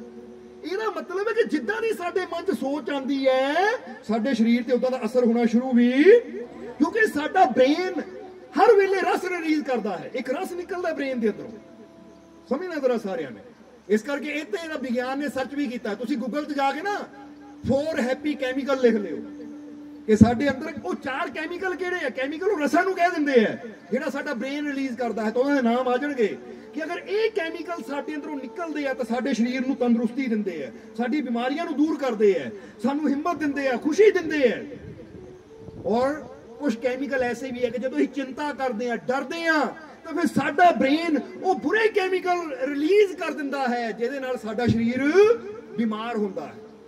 ਤਾਂ ਹੀ ਕਈ ਵਾਰ ਤੁਸੀਂ ਦੇਖਦੇ ਹੋ ਜਦੋਂ ਬੱਚਿਆਂ ਦੇ ਇਮਤਿਹਾਨ ਆਉਂਦੇ ਆ ਟਫ ਪੇਪਰ ਆਉਂਦੇ ਆ, ਪੱਕੇ ਪੇਪਰ ਆਉਂਦੇ ਜਿਹਨੂੰ ਕਹਿ ਦਿੰਦੇ ਆ, ਬੱਚੇ ਟੈਨਸ਼ਨ ਨਹੀਂ ਲੈਂਦੇ ਬਿਮਾਰ ਹੋਣੇ ਸ਼ੁਰੂ ਕਿਸੇ ਕਿਸੇ ਬੱਚੇ ਦੇ ਪੇਟ 'ਚ ਦਰਦ, ਕਿਸੇ ਨੂੰ ਬੁਖਾਰ ਹੋ ਜਾਏਗਾ, ਕਿਸੇ ਨੂੰ ਕੁਝ ਹੋ ਜਾਏਗਾ। ਕਿਉਂਕਿ ਟੈਨਸ਼ਨ ਨਾਲ ਬੰਦਾ ਬਿਮਾਰ ਹੁੰਦਾ ਕਿ ਨਹੀਂ? ਜਰਾ ਸੋਚ ਕੇ ਦੇਖਣਾ। ਆ ਹੁਣੇ ਕੋਈ ਤੁਹਾਨੂੰ ਟੈਨਸ਼ਨ ਦੀ ਗੱਲ ਪਤਾ ਲੱਗ ਜਾਵੇ ਨਾ, ਤਾਂ ਨਾਲ ਹੀ ਵੀ ਮੈਨੂੰ ਭੁੱਖ, ਰੋਟੀ ਖਾਣ ਨੂੰ ਦਿਲ ਨਹੀਂ ਕਰਦਾ। ਮੇਰੇ ਤਾਂ ਜਾਨ ਹੀ ਨਿਕਲ ਗਈ ਮੇਰੀ ਤਾਂ। ਮੇਰਾ ਤਾਂ ਉੱਠਣ ਨੂੰ ਦਿਲ ਨਹੀਂ ਕਰਦਾ। ਉਹ ਕੀ ਹੈ? ਬੰਦਾ ਆਪਣੇ ਨੂੰ ਬਿਮਾਰ ਫੀਲ ਕਰਦਾ ਹੈ। ਬੰਦਾ ਆਪਣੇ ਨੂੰ ਮੁਰਦਾ ਜਿਹਾ ਫੀਲ ਕਰਦਾ ਕਿ ਮੇਰੇ ਤਾਂ ਜਾਨ ਹੀ ਹੈ ਨਹੀਂ, ਕਿਉਂਕਿ ਗੱਲ ਹੀ ਇਦਾਂ ਦੀ ਸੁਣ ਲਈ। ਜਰਾ ਸੋਚ ਕੇ ਦੇਖੋ, ਹੁੰਦਾ ਕਿ ਨਹੀਂ ਇਦਾਂ ਹੁਣ ਬੰਦਾ ਨੱਚ ਰਿਹਾ ਹੋਵੇ, ਭੰਗੜਾ ਪਾ ਰਿਹਾ ਹੋਵੇ, ਅਚਾਨਕ ਉਹ ਤੇਰਾ ਇੰਨਾ ਨੁਕਸਾਨ ਹੋ ਗਿਆ, ਉਹ ਤੇਰਾ ਗਹਿਣਾ ਚੋਰੀ ਹੋ ਗਿਆ, ਨਾਲ ਹੀ ਬੰਦਾ, ਹਾਏ, ਮਰ ਗਏ। ਹੋਇਆ ਕੀ? ਸਰੀਰ ਉਹੀ ਹੈ। ਸੋਚ ਆ ਗਈ। ਮੇਰੇ ਨਾਲ ਬੁਰਾ ਹੋ ਗਿਆ। ਤਾਂ ਤੁਸੀਂ ਬਹਿ ਜਾਣਾ ਹੈ। ਇਹ ਉਸੇ ਤਰ੍ਹਾਂ ਜਿਹਦੇ ਕਹਾਣੀ ਯਾਦ ਆ ਗਈ ਸਾਨੂੰ ਦੱਸਣ ਦੱਸ ਦਈਏ ਥੋੜੀ ਜਿਹੀ। ਇੱਕ ਵਾਰ ਇੱਕ ਨਗਰ ਦੇ ਅੰਦਰ ਇੱਕ ਬਹੁਤ ਬੜਾ ਘਰ ਸੀ। ਹੁਣ ਉਹ ਘਰ ਇੱਕ ਸੇਠ ਦਾ ਸੀ। ਉਹ ਸੇਠ ਦੇ ਦੋ ਬੇਟੇ ਸੀ। ਹੁਣ ਅਚਾਨਕ ਸੇਠ ਆਪਣੀ ਦੁਕਾਨ ਤੇ ਬੈਠਾ ਸੀ। ਤਾਂ ਕਿਸੇ ਨੇ ਕਿਹਾ, ਸੇਠ ਜੀ ਜਰਾ ਜਲਦੀ ਆਪਣੇ ਘਰ ਪਹੁੰਚੋ, ਸੇਠ ਜਦੋਂ ਆਪਣੇ ਘਰ ਗਿਆ, ਦੇਖਿਆ ਘਰ ਨੂੰ ਅੱਗ ਲੱਗੀ ਹੋਈ ਹੈ। ਪਤਨੀ ਬਾਹਰ ਖੜੀ ਹੈ, ਨੌਕਰ ਬਾਹਰ ਖੜੇ ਹੈ, ਸਮਾਨ ਵਿਚਾ ਰਹੇ ਹੈ। ਜਦੋਂ ਸੇਠ ਨੇ ਆਪਣੇ ਘਰ ਨੂੰ ਜਲਦਾ ਦੇਖਿਆ, ਤਾਂ ਦਿਲ ਤੇ ਹੱਥ ਰੱਖ ਕੇ, ਹਾਏ, ਮੈਂ ਮਰ ਗਿਆ, ਮੇਰਾ ਘਰ ਗਿਆ। ਤਾਂ ਘਰ ਵਾਲੀ ਫਿਕਰ ਕਿਤੇ ਅਟੈਕ ਹੀ ਨਾ ਹੋ ਜਾਵੇ ਇਹਨੂੰ, ਕਿਉਂਕਿ ਘਰ ਸੜ ਗਿਆ। ਜਦੋਂ ਘਰ ਸੜ ਰਿਹਾ, ਸੇਠ ਲੰਮਾ ਪੈ ਗਿਆ। ਹਾਏ, ਰੋਣ ਲੱਗ ਗਿਆ ਸੇਠ। ਹਾਏ ਹਾਏ ਕਰਨ ਲੱਗ ਗਿਆ। ਉਹਨੂੰ ਦੇਖ ਕੇ ਪਤਨੀ ਵੀ ਰੋਣ ਲੱਗ ਗਈ ਤੇ ਸਾਡਾ ਘਰ ਸੜ ਗਿਆ। ਅਚਾਨਕ ਪਿੱਛੋਂ ਬੇਟਾ ਆਇਆ। ਬੇਟੇ ਨੇ ਦੇਖਿਆ, ਬਾਪ ਦਾ ਬੁਰਾ ਹਾਲ, ਮਾਂ ਦਾ ਬੁਰਾ ਹਾਲ। ਕਹਿੰਦਾ, ਪਿਤਾ ਜੀ, ਕੀ ਗੱਲ ਹੋਈ? ਉਹ ਕਹਿੰਦਾ, ਬੇਟਾ, ਦੇਖ ਨਹੀਂ ਰਿਹਾ, ਤੂੰ ਪੁੱਛ ਲੈ ਕੀ ਗੱਲ ਹੋਈ? ਤੇਰੇ ਸਾਹਮਣੇ ਘਰ ਸੜ ਰਿਹਾ। ਉਹ ਕਹਿੰਦਾ, ਫਿਕਰ ਨਾ ਕਰੋ। ਦਰਅਸਲ ਮੈਂ ਘਰ ਵੇਚ ਕੇ ਆਇਆ ਆ ਲੋ ਪੈਸੇ ਮੇਰੇ ਕੋਲ ਹੈ ਉਹ ਬਾਪ ਕਹਿੰਦਾ, ਹੈ, ਵੇਚਤਾ? ਉੱਠ ਕੇ ਖੜਾ ਕਹਿੰਦਾ ਸ਼ਾਬਾਸ਼, ਸ਼ੁਕਰ ਬਚ ਗਿਆ। ਹੁਣ ਹੁਣੇ ਥੋੜੀ ਦੇਰ ਪਹਿਲਾਂ ਘਰ ਸੜ ਰਿਹਾ ਹੈ। ਅਟੈਕ ਹੋਣ ਨੂੰ ਫਿਰਦਾ ਹੈ। ਹੁਣ ਖੜਾ ਹੈ। ਟੈਚੀ ਫੜ ਕੇ ਤਰੋ ਫੇ ਚਲੀਏ। ਫ਼ਰਕ ਕੀ ਪਿਆ? ਪਹਿਲਾ ਘਰ ਮੇਰਾ ਸੜ ਗਿਆ। ਉਹ ਮੇਰਾ ਹੈ ਹੀ ਨਹੀਂ ਤਾਂ ਵੇਚਦਾ ਹੁਣ ਸੜੇ ਜਾਂ ਨਾ ਸੜੇ, ਮੈਨੂੰ ਕੀ ਮੈਨੂੰ ਤਾਂ ਪੈਸੇ ਮਿਲ ਗਏ। ਸੋ ਸਾਰਾ ਅਸਰ ਕਿੱਥੇ ਹੈ? ਇੱਥੇ ਸਰੀਰ ਨੂੰ ਕੋਈ ਫ਼ਰਕ ਨਹੀਂ ਹੈ। ਜਦੋਂ ਮਨ ਨੇ ਸੋਚ ਲਿਆ, ਮੇਰਾ ਸੜ ਗਿਆ। ਹਾਏ, ਮੈਂ ਮਰ ਗਿਆ। ਅਟੈਕ ਹੋਣ ਨੂੰ ਫਿਰ ਰਿਹਾ ਹੈ। ਜਦੋਂ ਮਨ ਨੇ ਸੋਚ ਲਿਆ, ਉਹ ਮੇਰਾ ਹੈ ਹੀ ਨਹੀਂ ਤਾਂ ਵਿਕ ਗਿਆ। ਤਾਂ ਸਰੀਰ ਉੱਠ ਕੇ એનર્ਜੀ ਨਾਲ ਕਹਿ ਦਿਓ, ਭਰ ਗਿਆ ਕਿ ਨਹੀਂ? ਇਹਦਾ ਮਤਲਬ ਸਾਰੀ ਖੇਡ ਮੰਨਦੀ ਹੈ। ਮਨ ਖੁਸ਼ ਹੈ ਤਾਂ ਸਰੀਰ એનર્ਜੀ ਨਾਲ ਭਰ ਜਾਂਦਾ ਮਨ ਦੁਖੀ ਹੈ ਤਾਂ ਸਰੀਰ ਡਾਊਨ ਕਹਿ ਦਿਓ। ਇਸ ਲਈ ਕਿ ਮਨ ਵਿਸ਼ਵਾਸ ਨਾਲ ਭਰਿਆ ਹੈ, ਤਾਂ ਤੁਸੀਂ ਤੰਦਰੁਸਤ ਰਹਿੰਦੇ ਹੋ। ਔਰ ਮਨ ਵਿੱਚ ਚਿੰਤਾਵਾਂ ਆ ਗਈਆਂ, ਡਰ ਆ ਗਿਆ, ਤਾਂ ਤੁਹਾਡਾ ਸਰੀਰ ਬਿਮਾਰ ਹੋਣਾ ਸ਼ੁਰੂ। ਔਰ ਅਸੀਂ ਐਸੇ ਬਹੁਤ ਦੇਖੇ, ਦਰਬਾਰ ਤੇ ਵੀ ਇਦਾਂ ਦੇ ਹਜ਼ਾਰਾਂ ਜੀਵ ਤੁਹਾਨੂੰ ਮਿਲਾ ਸਕਦੇ ਆ ਕਿ ਜਿਹਨਾਂ ਨੂੰ ਕੈਂਸਰ ਸੀ ਜਿਹਨਾਂ ਨੂੰ ਕੋਈ ਤਕਲੀਫ ਸੀ, ਮਾਲਕ ਤੇ ਵਿਸ਼ਵਾਸ ਕੀਤਾ ਜੋ ਤੰਦਰੁਸਤੀ ਦੀ ਜ਼ਿੰਦਗੀ ਜੀ ਰਹੇ। ਆ ਸਮਝਣਾ ਜ਼ਰਾ ਸਾਰਿਆਂ ਨੇ? ਔਰ ਇਹ ਸੱਚਾਈ ਹੈ, ਕੋਈ ਤੁਹਾਡਾ ਮਨ ਬਹਿਲਾਉਣ ਨੂੰ ਗੱਲ ਨਹੀਂ ਕਰ ਰਹੇ ਅਸੀਂ। ਕਿਉਂਕਿ ਜਦੋਂ ਮਨ 'ਚ ਵਿਸ਼ਵਾਸ ਪੈਦਾ ਹੁੰਦਾ ਹੈ, ਤਾਂ ਵਿਸ਼ਵਾਸ ਸਾਨੂੰ ਉਸ ਸ਼ਕਤੀ ਨਾਲ ਜੋੜਦਾ ਹੈ ਜਿਸ ਨੇ ਸਾਨੂੰ ਸਾਰਿਆਂ ਨੂੰ ਬਣਾਇਆ ਹੈ। ਯਾਨੀ ਉਹ ਪ੍ਰਮਾਤਮਾ ਪ੍ਰਭੂ, ਉਸ ਮਾਲਿਕ ਦੇ ਨਾਲ। ਜਦੋਂ ਉਹਦੇ ਨਾਲ ਅਸੀਂ ਜੁੜਦੇ ਹਾਂ, ਤਾਂ ਸਾਡੀ ਹਰ ਮੁਸ਼ਕਿਲ ਦਾ ਹੱਲ ਹੋਣਾ ਸ਼ੁਰੂ। ਤਾਂ ਜਦੋਂ ਅਸੀਂ ਡਰਦੇ ਹਾਂ, ਤਾਂ ਐਵੇਂ ਨਹੀਂ ਕਹਾਵਤ ਬਣੀ ਕਿ ਜੋ ਡਰ ਗਿਆ ਸਮਝੋ। ਕਿਉਂਕਿ ਡਰ ਹੀ ਬੰਦੇ ਦੀ ਜਾਨ ਚਿੰਤਾ ਹੀ ਬੰਦੇ ਨੂੰ ਨੁਕਸਾਨ ਪਹੁੰਚਾਉਂਦੀ ਹੈ। ਤਾਂ ਹੀ ਤਾਂ ਅੱਜ ਡਾਕਟਰ ਵੀ ਕਹਿੰਦੇ ਕਿ ਚਿੰਤਾ ਬਿਮਾਰੀਆਂ ਦੀ ਕਹਿ ਦਿਓ। ਇੱਥੇ ਕਈ ਆਪਣਾ ਡਾਕਟਰ ਕੋ ਜਾਂਦੇ ਹੋਣਗੇ ਡਾਕਟਰ ਸਾਹਿਬ ਆ ਦੇਖਿਓ ਸ਼ੂਗਰ ਵੱਧ ਗਈ ਆ ਦੇਖਿਓ ਬੀਪੀ ਵੱਧ ਗਿਆ ਤਾਂ ਡਾਕਟਰ ਤੁਹਾਨੂੰ ਜ਼ਰੂਰ ਕਹਿੰਦੇ ਹੋਣਗੇ ਟੈਨਸ਼ਨ ਕੀ ਹੈ? ਕਦੀ ਪੁੱਛਿਆ ਕਿਸੇ ਨੇ? ਜਵਾਬ ਦੇ ਜਿਹਨੂੰ ਪੁੱਛਿਆ, ਹੱਥ ਖੜਾ ਕਰਦੇ, ਹਾਂ, ਡਾਕਟਰ ਨੇ ਸਾਨੂੰ ਪੁੱਛਿਆ ਜੀ ਹਾਂਜੀ, ਮਨ 'ਚ ਟੈਨਸ਼ਨ ਕੀ ਹੈ? ਕਿਉਂਕਿ ਟੈਨਸ਼ਨ ਨਾਲ ਬੀਪੀ ਕਹਿ ਦਿਓ। ਹੁਣ ਤੁਸੀਂ ਆਪਣੇ ਦੁਸ਼ਮਣ ਹੋ ਜਾਂ ਦੋਸਤ? ਦੋਸਤ ਨਹੀਂ ਹੋ। ਇਹ ਤਾਂ ਫਿਰ ਟੈਨਸ਼ਨ ਕਿਉਂ ਲਈਏ? ਵਿਸ਼ਵਾਸ ਕਰਨਾ ਸ਼ੁਰੂ ਕਰੀਏ ਪਤਾ ਕਿ ਆਪਣੇ ਰੱਬ ਤੇ ਵਿਸ਼ਵਾਸ ਕਰਨ ਨਾਲ ਸਾਡੇ ਜੀਵਨ 'ਚ ਸ਼ਾਂਤੀ, ਸਕੂਨ, ਖੁਸ਼ੀ ਆਉਂਦੀ ਤਾਂ ਵਿਸ਼ਵਾਸ ਸ਼ੁਰੂ ਕਰੀਏ। ਔਰ ਜੇ ਟੈਨਸ਼ਨ ਚਿੰਤਾ ਡਰਨ ਦੇ ਨਾਲ ਸਾਡੇ ਦੁੱਖ, ਬਿਮਾਰੀਆਂ, ਚਿੰਤਾਵਾਂ ਵੱਧਦੀਆਂ ਹੈ ਅਸੀਂ ਇਹਨੂੰ ਕਿਉਂ ਲੈਣਾ? ਬੰਦ ਕਰੀਏ ਘਟਾਣਾ ਸ਼ੁਰੂ ਕਰੀਏ। ਤਾਂ ਹੀ ਤਾਂ ਕਹਿੰਦੇ, ਉਹ ਫਕੀਰਾਂ ਦੇ ਕੋਲ ਬੈਠੋ, ਸੰਤਾਂ ਨਾਲ ਜੁੜੋ। ਜਿਹੜੇ ਸਾਡੇ ਅੰਦਰ ਜਿੱਦਾਂ ਦੱਸਿਆ ਨਾ ਕਿ ਉਨ ਫਕੀਰੋਂ ਕੀ ਸੋਹਬਤ ਮੇ ਜੀਵਨ ਕੋ ਲਗਾ ਦੇ। ਉਹਨਾਂ ਫਕੀਰਾਂ ਦੀ ਸੋਭਤ ਆਪਣੇ ਜੀਵਨ ਨੂੰ ਲਾਓ। ਇਹਨਾਂ ਦੀ ਸੋਭਤ ਜੋ ਆਪ ਕੇ ਅੰਦਰ ਕੇ ਉਸ ਰੱਬ ਸੇ ਮਿਲਾ ਦੇ।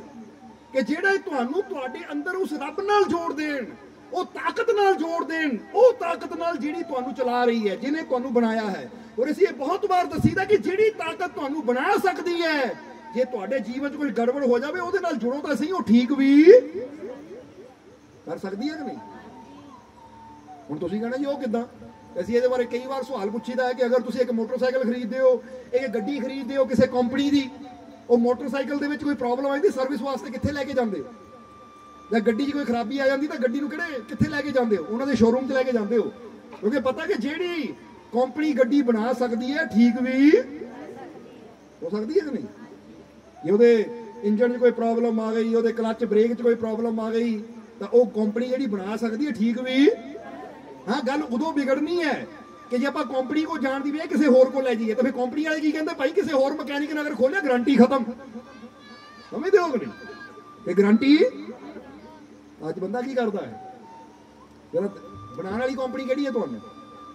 ਸੱਚੀ ਦੱਸਣਾ। ਇਹ ਤੁਹਾਡੇ ਦਿਲ ਚੋਂ ਆ ਜਾਣੀ ਹੈ, ਤੁਹਾਨੂੰ ਬਣਾਇਆ ਕੀ ਨਾ ਹੈ? ਜਵਾਬ ਦਿਓ। ਉਸ ਪਰਮਾਤਮਾ ਨੇ, ਉਸ ਪ੍ਰਭੂ ਨੇ ਬਣਾਇਆ। ਤਾਂ ਜਦੋਂ ਗੜਬੜ ਆਂਦੀ ਤੁਰਿਓ ਕਿੱਥੇ ਆ? ਅਗਾਈ ਨੂੰ ਪੇੜਾ ਖਲਾ ਦੀ ਕਿਹੜੀ ਕੰਪਨੀ ਕੋ ਜਾ ਰਹੇ ਹੋ ਭਾਈ ਤੁਸੀਂ? ਉਹ ਰੱਬ ਨਾਲ ਜੁੜੋ, ਉਹ ਪ੍ਰਮਾਤਮਾ ਨਾਲ ਜੁੜੋ। ਜਿੱਦਾਂ ਕਹਿੰਦੇ ਨੇ ਕਿ ਪੰਡਤ ਜੀ ਸੀ, ਇੱਕ ਦਿਨ ਤੁਰੇ ਜਾ ਰਹੇ ਤਾਂ ਚਿੱਟੇ ਕੁੱਤੇ ਨੇ ਜਾ ਕੇ ਲੱਤ ਫੜ ਲਈ। ਚਿੱਟੇ ਕੁੱਤੇ ਨੇ। ਬਿਲਕੁਲ ਸਫੇਦ ਕੁੱਤਾ ਪਿਓਰ ਕੁੱਤਾ ਲੱਤ ਫੜ ਲਈ ਜਾ ਕੇ। ਪੰਡਤ ਜੀ ਨੇ ਕਿਹਾ, ਕੁੱਤੇ ਮੇਰੀ ਲੱਤ ਕਿਉਂ ਫੜ ਲਈ? ਜ਼ਖਮ ਕਰ ਦਿੱਤਾ, ਖੂਨ ਨਿਕਲਣ ਲੱਗ ਪਿਆ। ਭਾਈ, ਮੈਂ ਤੇਰਾ ਕੀ ਵਿਗਾੜਿਆ? ਪੰਡਤ ਜੀ ਤੁਸੀਂ ਦੁਸ਼ਮਣੀ ਪੈਦਾ ਕੀਤੀ ਹੈ। ਹੁਣ ਦੁਸ਼ਮਣੀ ਪੈਦਾ ਕੀਤੀ, ਨਤੀਜਾ ਹੀ ਭੁਗਤਣਾ। ਉਹ ਕਹਿੰਦਾ, ਮੈਂ ਤੇਰੇ ਨਾਲ ਕਿਹੜੀ ਦੁਸ਼ਮਣੀ ਪਾਲ ਲਈ ਭਾਈ? ਮੈਂ ਕੀ ਕੀਤਾ ਤੇਰਾ? ਪੰਡਤ ਕਹਿੰਦਾ, ਕੁੱਤਾ ਕਹਿੰਦਾ, ਕੀਤਾ ਕਿਉਂ ਨਹੀਂ? ਆ ਜਦੋਂ ਦੇਖੋ, ਜਿਹੜਾ ਤੁਹਾਡੇ ਕੋਲ ਆਂਦਾ ਹੈ, ਉਹਨੂੰ ਉਪਾਏ ਦੱਸੋ, ਕਾਲੇ ਕੁੱਤੇ ਨੂੰ ਰੋਟੀ ਪਾਓ। ਕਾਲੇ ਕੁੱਤੇ ਨੂੰ ਉਹ ਚਿੱਟਿਆਂ ਨੇ ਤੁਹਾਡਾ ਕੀ ਵਿਗਾੜਿਆ? ਕਦੀ ਸਾਨੂੰ ਵੀ ਪਾ ਦਿਆ ਕਰੋ। ਕਾਲੇ ਤਗੜੇ ਹੋਈ ਜਾਂਦੇ ਸੀ ਚਿੱਟੇ ਭੁੱਖੇ ਮਰੀ ਜਾਂਦੇ। ਦੁਸ਼ਮਣੀ ਆਪੀ ਪੈਦਾ ਕੀਤੀ ਤੁਸੀਂ। ਹੁੰਦਾ ਨਹੀਂ? ਉਹ ਕਾਲੇ ਕੁੱਤੇ ਨੂੰ ਆਹ ਕਰਦੇ ਹੋ। ਉਹ ਭਾਈ ਪੈਦਾ ਕਰਨ ਵਾਲਾ ਪ੍ਰਮਾਤਮਾ ਹੈ, ਭਗਵਾਨ। ਹਾਂ, ਰੋਟੀ ਪਾਓ ਉਹਨਾਂ ਨੂੰ। ਜਾਨਵਰਾਂ ਦੀ ਹੈਲਪ ਕਰੋ, ਮਦਦ ਕਰੋ, ਅਤਿਆਚਾਰ ਨਾ ਕਰੋ। ਪਰ ਯਕੀਨ ਉਹ ਤਾਕਤ ਤੇ ਰੱਖੋ ਜਿਸ ਨੇ ਤੁਹਾਨੂੰ ਉਹ ਰੱਬ ਤੇ ਉਹ ਈਸ਼ਵਰ ਤੇ ਉਹ ਭਗਵਾਨ ਤੇ ਤਾਂ ਹੀ ਤਾਂ ਸ਼੍ਰੀ ਕ੍ਰਿਸ਼ਨ ਨੇ ਵੀ ਕਿਹਾ ਹੈ कि जब तुम अपना भविष्य जन्म पत्रियों और हाथों की लकीरों में तलाश करने लगो तो समझ लेना तुम्हें खुद पर और भगवान पर भरोसा नहीं रहा ਇਹ ਸ਼੍ਰੀ ਕ੍ਰਿਸ਼ਨ ਦੇ ਵਚਨ ਹੈ ਕਿੱਡੀ ਵੱਡੀ ਗੱਲ ਕਹਿ ਰਹੇ ਹੈ ਕਿ ਜਦੋਂ ਤੁਸੀਂ ਜਨਮ ਪੱਤਰੀਆਂ ਵਿੱਚ ਆਪਣੇ ਹੱਥਾਂ 'ਚ ਲਕੀਰਾਂ ਵਿੱਚ ਜਾ ਕੇ ਭਵਿੱਖ ਆਪਣਾ ਲੱਭੋ ਦੱਸਿਓ ਮੇਰੇ ਭਵਿੱਖ ਕੀ ਹੈ ਤਾਂ ਕਹਿੰਦੇ ਇਹਦਾ ਮਤਲਬ ਤੈਨੂੰ ਆਪਣੇ ਆਪ ਤੇ ਤਾਂ ਰੱਬ ਤੇ ਭਰੋਸਾ ਤਾਂ ਜਿਹਨੂੰ ਆਪਣੇ ਆਪ ਤੇ ਰੱਬ ਤੇ ਭਰੋਸਾ ਨਹੀਂ ਉਹ ਜੀਵਨ 'ਚ ਕਦੀ ਕਾਮਯਾਬ ਹੋ ਸਮਝਦੇ ਹੋ ਕਿ ਨਹੀਂ ਇਸ ਲਈ ਇੱਕ ਗੱਲ ਹਮੇਸ਼ਾ ਯਾਦ ਰੱਖੋ ਕਿ ਜੇ ਨਾ पूछो किसी से जाकर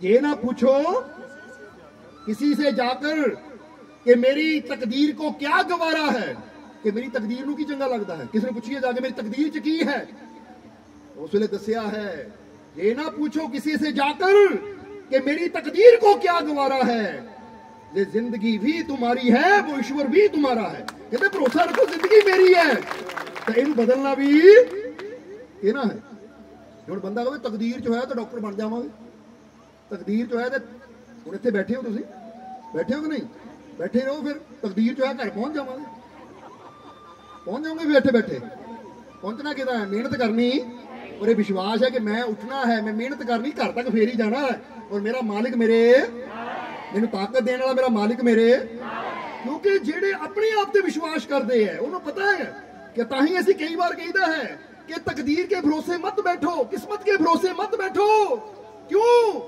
क्योंकि क्या पता किस्मत तुम्हारे भरोसे बैठी है कि भाई तू कुछ करे तो मैं है ਚਮਕਾ ਸਮਝਦੇ ਹੋ ਕਿ ਨਹੀਂ? ਕਿਉਂਕਿ ਰਸੋਈ 'ਚ ਪਈ ਪਤੀਲੀ ਵੀ ਆਪਣੇ ਆਪ ਨਹੀਂ ਚਮਕਦੀ ਉਹਨੂੰ ਵੀ ਚਮਕਾਉਣ ਵਾਸਤੇ ਮਿਹਨਤ ਕਰਨੀ ਤੇ ਆਪਣੀ ਕਿਸਮਤ ਵਿੱਚ ਚਮਕਾਉਣ ਵਾਸਤੇ ਮਿਹਨਤ ਕਰਨੀ ਇਸ ਲਈ ਫਿਰ ਕਹਾਂਗੇ कि उन फकीरों की सोहबत में अपने जीवन को लगा दें जो आपके अंदर के उस रब से मिला दें जो आप के अंदर के उस रब से मिला दें जो आपकी सोई हुई हिम्मत को ਜਗਾ ਦੇ। ਅੱਜ ਆਪਣੀ ਹਿੰਮਤ ਨੂੰ ਜਗਾ ਕੇ ਜਾਣਾ ਝੋੜਾ ਦਿਓ ਥੋੜਾ ਜਿਹਾ। ਕਿਉਂਕਿ ਬੜਾ ਡਰ ਕੇ ਬੈਠੇ ਹੋਏ ਪਤਾ ਨਹੀਂ ਮੈਨੂੰ ਮਿਲਣਾ ਕਿ ਨਹੀਂ ਮਿਲਣਾ। ਪਤਾ ਨਹੀਂ ਮੈਂ ਕਾਮਯਾਬ ਹੋਣਾ ਕਿ ਨਹੀਂ ਹੋਣਾ। ਤੂੰ ਆਪ ਹੀ ਸੋਚ ਕੇ ਬੈਠਾ ਤਾਂ ਕਾਮਯਾਬੀ ਮਿਲੇਗੀ ਕਿਦਾਂ? ਕਿਉਂਕਿ ਜਿਹਨਾਂ ਅੰਦਰ ਸਾਹਸ ਹੁੰਦਾ, ਹਿੰਮਤ ਹੁੰਦੀ ਨਾ, ਭਰੋਸਾ ਹੁੰਦਾ ਹੈ। ਉਹ ਕਹਿੰਦੇ, ਮਿਹਨਤ ਮੈਂ ਕਰਨੀ ਹੈ ਤਾਂ ਰਹਿਮਤ ਮੇਰੇ ਮਾਲਕ ਨੇ ਕਰਨੀ ਹੈ, ਤਾਂ ਮੈਨੂੰ ਕਾਮਯਾਬੀ ਜ਼ਰੂਰ ਮਿਲਦੀ ਹੈ ਕਿ ਨਹੀਂ ਫਿਰ? ਸੋਚ ਕੇ ਦੇਖੋ ਜਰਾ। ਤਾਂ ਫਿਰ ਇਹ ਹਿੰਮਤ ਨੂੰ ਜਗਾਓ, ਕਿਉਂਕਿ ਕਾਮਯਾਬ ਹੋਣ ਵਾਸਤੇ, ਹਰ ਮੁਸ਼ਕਿਲ ਚੋਂ ਨਿਕਲਣ ਵਾਸਤੇ ਸਾਨੂੰ ਮਿਹਨਤ ਕਰਨੀ ਕੋਸ਼ਿਸ਼ ਕਰਨੀ ਤਾਂ ਹੀ ਅਸੀਂ ਬਹੁਤ ਵਾਰ ਕਹੀਦਾ ਕੋਸ਼ਿਸ਼ करने वालों की कभी हार नहीं होती तूफानों से डर कर जो किनारे बैठ जाते हैं उनकी नैया कभी ਹੁਣ ਇੱਕ ਬੰਦਾ ਸੋਚੇ ਉਹ ਕਿਨਾਰੇ ਜਾਣਾ ਆ ਪਰ ਨਦੀ 'ਚ ਕਸ਼ਤੀ ਨਾ ਪਾਵੇ ਕਿਤੇ ਤੂਫਾਨ ਨਾ ਆ ਜਾਵੇ ਕਿਤੇ ਕਸ਼ਤੀ ਡੁੱਬ ਨਾ ਜਾਵੇ ਕਿਤੇ ਹਨੇਰੀ ਨਾ ਆ ਜਾਵੇ ਮੀਂਹ ਨਾ ਆ ਜਾਵੇ ਉਹ ਡਰੀ ਜਾਵਾਂਗੇ ਤਾਂ ਫਿਰ ਕਦੀ ਦੂਜੇ ਕਿਨਾਰੇ ਤੱਕ ਇਸ ਲਈ ਜੀਵਨ ਦੀ ਕਸ਼ਤੀ ਨੂੰ ਨਦੀ 'ਚ ਪਾਓ ਔਰ ਵਿਸ਼ਵਾਸ ਰੱਖੋ ਕਿ ਆਣ ਜਿੰਨੇ ਮਰਜ਼ੀ ਤੂਫਾਨ ਮੇਰੀ ਰੱਖਿਆ ਕਰਨ ਵਾਲਾ, ਮੈਨੂੰ ਪਾਰ ਲਗਾਉਣ ਵਾਲਾ ਮੇਰਾ ਈਸ਼ਵਰ, ਮੇਰਾ ਮਾਲਿਕ ਮੇਰੇ ਤਾਂ ਕਹਿੰਦੇ, ਰੱਬ ਤੇ ਭਰੋਸਾ ਰੱਖਣ ਵਾਲਿਆਂ ਦੇ ਬੇੜਿਆਂ ਨੂੰ ਕੋਈ ਡੁਬੋ? ਇਹ ਐਵੇਂ ਨਹੀਂ ਕਿਹਾ ਕਿ ਫਾਨੂਸ ਬਨ ਕੇ ਜਿਸ ਕੀ ਹਿਫਾਜ਼ਤ ਹਵਾ ਕਰੇ, ਉਹ ਸ਼ਮਾ ਕਿਆ 부ਝੇ ਜਿਸੇ ਰੋਸ਼ਨ? ਇਹ ਐਵੇਂ ਨਹੀਂ ਸ਼ਾਇਰਾਂ ਨੇ ਲਿਖ ਦਿੱਤੀ ਇੰਨੀਆਂ ਵੱਡੀਆਂ ਵੱਡੀਆਂ ਗੱਲਾਂ। ਜਾਂ ਗੁਰੂਆਂ ਨੇ ਕਹਿਤਾ ਕਿ ਤੂੰ ਮੇਰਾ ਰਾਖਾ ਜਾਂ ਤੁਸੀਂ ਪੜ੍ਹਦੇ ਹੋ ਨਾ? ਜਿਹੜਾ ਉਹ ਲਾਈਨ ਕਿੰਨਿਆਂ ਨੇ ਸੁਣੀ ਹੈ? ਕਿੰਨਿਆਂ ਨੇ ਆਪਣੇ ਅੰਦਰ ਜੀਵਨ 'ਚ ਪੜ੍ਹੀ ਹੋਏਗੀ? ਕਿਹੜੀ ਭਲਾ? ਹੁਣ ਆ ਜਿਹੜੀ ਦੱਸਣ ਲੱਗੇ ਆ। ਇਹ ਜਿਨ੍ਹਾਂ ਦੇ ਉੱਪਰ ਪ੍ਰਮਾਤਮਾ ਦਾ, ਪਰਮੇਸ਼ਵਰ ਦਾ ਹੱਥ ਹੈ, ਜਿਨ੍ਹਾਂ ਨੂੰ ਆਪਣੇ ਰੱਬ ਤੇ ਯਕੀਨ ਹੈ, ਉਹ ਫਿਰ ਕੀ ਕਹਿੰਦੇ ਹੈ? ਕਿ ਤੂੰ ਮੇਰਾ ਰਾਖਾ? ਲਾਈਨ ਪੜ੍ਹੀ ਹੈ ਕਿ ਨਹੀਂ? ਕਿਹਨੇ ਕਿਹਨੇ ਪੜ੍ਹੀ ਹੈ? ਕਿਹਨੇ ਕਿਹਨੇ ਸੁਣੀ ਹੈ? ਤਾਂ ਫਿਰ ਸੁਣੀ ਹੈ ਯਕੀਨ ਕਰਨਾ ਕਿਉਂ ਨਹੀਂ ਸਿੱਖਦੇ ਅਸੀਂ? ਕਿਉਂਕਿ ਜਦੋਂ ਯਕੀਨ ਕਰਾਂਗੇ ਕਿ ਮੈਂ ਕਿਸੇ ਵੀ ਹਾਲਾਤ ਵਿੱਚ ਦੀ ਗੁਜ਼ਰ ਸਕਦਾ ਹੈ ਕਿਉਂਕਿ ਮੇਰਾ ਰਖਸ਼ਕ ਮੇਰਾ ਮਾਲਿਕ, ਮੇਰਾ ਪ੍ਰਮਾਤਮਾ, ਮੇਰਾ ਪ੍ਰਭੂ ਮੇਰੇ ਨਾਲ ਹੈ। ਤਾਂ ਹੀ ਤਾਂ ਕਹਿੰਦੇ ਬਾਹਲਾ ਬੰਕਾ ਕਰ ਸਕੇ।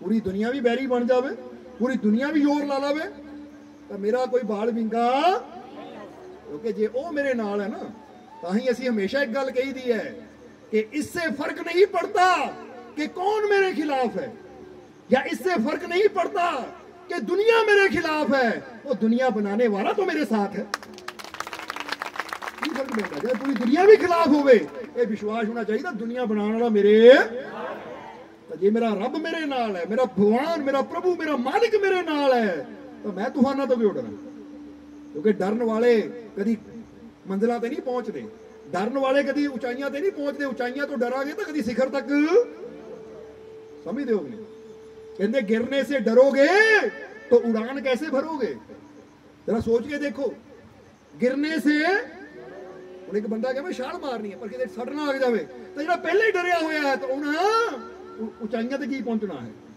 ਇਸ ਲਈ ਜਿਹੜਾ ਗਿਰਨੇ ਦਾ ਡਰ ਆਪਣੇ ਦਿਲ ਚੋਂ ਕੱਢ ਦਿੰਦਾ ਹੈ ਜਿਹੜਾ ਯਕੀਨ ਰੱਖਦਾ ਹੈ ਜਿੱਦਾਂ ਹੁਣ ਕਈ ਵਾਰ ਦੇਖਿਆ ਨਾ ਅਸੀਂ ਕਈ ਵਾਰ ਦੱਸਦੇ ਕਿ ਬੱਚੇ ਨੂੰ ਨਾ ਛੋਟੇ ਬੱਚੇ ਨੂੰ ਉਹਦਾ ਪਿਤਾ ਉਛਾਲਦਾ ਹੈ ਤਾਂ ਜਰਾ ਸੋਚੋ ਬੱਚਾ ਹੱਸਦਾ ਕਿ ਰੋਂਦਾ ਹੈ ਜਿਹੜਾ ਡਰਿਆ ਹੋਇਆ ਬੱਚਾ ਰੋਂਦਾ ਵੀ ਹੈ ਨਹੀਂ, ਮੰਮੀ, ਨਾ ਮੇਰੇ ਸੁੱਟ ਲੱਗ ਜਾਣੀ। ਜੋ ਡਰਿਆ ਹੋਇਆ, ਮਜ਼ਾ ਨਹੀਂ ਲੈ ਪਾਉਂਦਾ।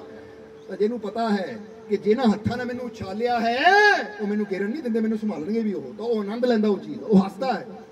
ਇਸੇ ਤਰ੍ਹਾਂ ਜਿਨ੍ਹਾਂ ਦੇ ਅੰਦਰ ਆਪਣੇ ਰੱਬ ਤੇ, ਆਪਣੇ ਭਗਵਾਨ ਤੇ ਉਸ ਮਾਲਿਕ ਤੇ ਵਿਸ਼ਵਾਸ ਹੈ ਕਿ ਮੈਨੂੰ ਸੰਭਾਲਣ ਵਾਲਾ ਮੇਰਾ ਮਾਲਿਕ ਮੇਰੇ, ਜਿਹਦੇ ਭਰੋਸੇ ਮੈਂ ਚੱਲ ਰਿਹਾ ਮੈਨੂੰ ਗਿਰਨ ਫਿਰ ਉਹ ਜ਼ਿੰਦਗੀ ਦੇ ਹਰ ਮੌਕੇ ਦਾ ਆਨੰਦ ਲੈਂਦਾ। ਉਹ ਫਿਕਰ ਹੀ ਨਹੀਂ ਕਰਦਾ। ਫਿਰ ਤਾਂ ਜਿਹਨੂੰ ਵਿਸ਼ਵਾਸ ਨਾ ਹੋਵੇ ਮੇਰਾ ਕੀ ਬਣੇਗਾ ਮੇਰੇ ਬੱਚਿਆਂ ਦਾ ਕੀ ਬਣੇਗਾ? ਤਾਂ ਮੇਰੀ ਜ਼ਿੰਦਗੀ ਦਾ ਕੀ ਬਣੇਗਾ? ਉਹ ਟੈਨਸ਼ਨਾਂ ਲੈ ਲੈ ਕੇ ਆਪਣੀ ਜ਼ਿੰਦਗੀ ਨੂੰ ਵਿਗਾੜ ਲੈਂਦਾ ਇਹ ਗੱਲ ਯਾਦ ਰੱਖਣਾ ਹਮੇਸ਼ਾ। ਕਿਉਂਕਿ ਆਪਾਂ ਜਿੰਨੀ ਜ਼ਿਆਦਾ ਟੈਨਸ਼ਨ ਲੈਂਦੇ ਆ ਜਿੰਨਾ ਜ਼ਿਆਦਾ ਡਰਦੇ ਆ ਅਸੀਂ ਉਨਾ ਕੰਮ ਨੂੰ ਗੜਬੜ ਕਰ ਦਿੰਦੇ ਆ ਇਹ ਗੱਲ ਯਾਦ ਰੱਖਣਾ। ਤਾਂ ਜਿੰਨਾ ਭਰੋਸੇ ਨਾਲ ਕੋਈ ਕੰਮ ਕਰਦੇ, ਉਨਾ ਕੰਮ ਵਧੀਆ। ਵਧੀਆ ਹੁੰਦਾ ਕਿ ਨਹੀਂ? ਹੁਣ ਕੋਈ ਚੀਜ਼ ਭਰੋਸੇ ਨਾਲ, ਵਿਸ਼ਵਾਸ ਨਾਲ ਬਣਾਈ ਜਾਵੇ ਤਾਂ ਕੁਝ ਹੋਰ ਬਣਦੀ, ਕੋਈ ਡਰ ਕੇ ਬਣਾਈ ਜਾਵੇ। ਤਾਂ ਫਿਰ ਹੁਣ ਫਰਜ਼ ਕਰੋ ਤੁਸੀਂ ਘਰ ਦੇ ਚ ਰੋਜ਼ ਦਾਲ ਰੋਟੀ ਬਣਾਉਂਦੇ ਹੋ? ਜਵਾਬ ਦੇਣਾ ਦਰ ਕਈ ਬਹੁਤ ਸਵਾਦ ਬਣਾਉਂਦੇ ਹੋਣਗੇ। ਹੁਣ ਫਰਜ਼ ਕਰਨਾ, ਕੋਈ ਆ ਜਾਵੇ ਔਰ ਤੁਹਾਡੇ ਕੰਨ ਤੇ ਪਿਸਤੌਲ ਰੱਖ ਦੇਵੇ। ਅੱਜ ਦਾਲ ਸਵਾਦ ਬਣਨੀ ਚਾਹੀਦੀ, ਲੂਣ ਮਿਰਚ ਘੱਟ ਵੱਧ ਹੋਈ ਤੇ ਗੋਲੀ ਮਾਰ ਦੇਣੀ ਤੈਨੂੰ ਮੈਂ। ਮੈਂ ਇੱਥੇ ਹੀ ਖੜਾ ਬੰਦੂਕ ਲੈ ਕੇ। ਤੇਰਾ ਸੋਚੋ ਦਾਲ ਕਿਦਾਂ ਦੀ ਬਣੇਗੀ। ਤੁਸੀਂ ਇਹ ਜਿੰਨੇ ਮਰਜ਼ੀ ਪਰਫੈਕਟ ਹੋ ਬਣਾਉਣ ਚ। ਹੁਣ ਤਾਂ ਘੱਟ ਵੱਧ ਹੋ ਹੀ ਜਾਣਾ, ਕਿਉਂਕਿ ਹੁਣ ਡਰ ਧਿਆਨ ਸਾਰਾ ਗਨ ਨਾਲ ਲਈ ਹੈ। ਗੋਲੀ ਨਾ ਮਾਰ ਦੇਵੇ।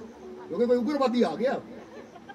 ਹੁਣ ਮੌਤ ਦਾ ਇੰਨਾ ਡਰ ਕਿ ਸਾਰੀ ਚੀਜ਼ ਹੀ ਭੁੱਲ ਜਾਣੀ ਹੈ। ਹੱਥ ਵੀ ਕੰਬਣਗੇ ਲੂਣ ਪਾਣ ਲਗੇ। ਮਿਰਚ ਮਸਾਲਾ ਪਾਣ ਲਗੇ ਇਦਾਂ ਹੁਣ ਜਿੰਨਾ ਮਰਜ਼ੀ ਕੁਛ ਹੈ, ਪਰ ਡਰ ਨੇ ਤੁਹਾਨੂੰ ਵਧੀਆ ਕਰਨ। ਇੱਕ ਬੱਚੇ ਨੂੰ ਕਹੋ, ਬੇਟਾ ਆ ਕਾ ਖਾ, ਗਾ ਲਿਖਣਾ ਆ। ਜੇ ਨਾ ਲਿਖ, ਚਪੇੜਾ ਪੈਣੀਆਂ ਤੇਰੇ। ਐਦਾਂ ਹੱਥ ਕਰਕੇ ਰੱਖੋ। ਬੱਚੇ ਹੱਥ ਕੰਬੀ ਜਾਣੇ।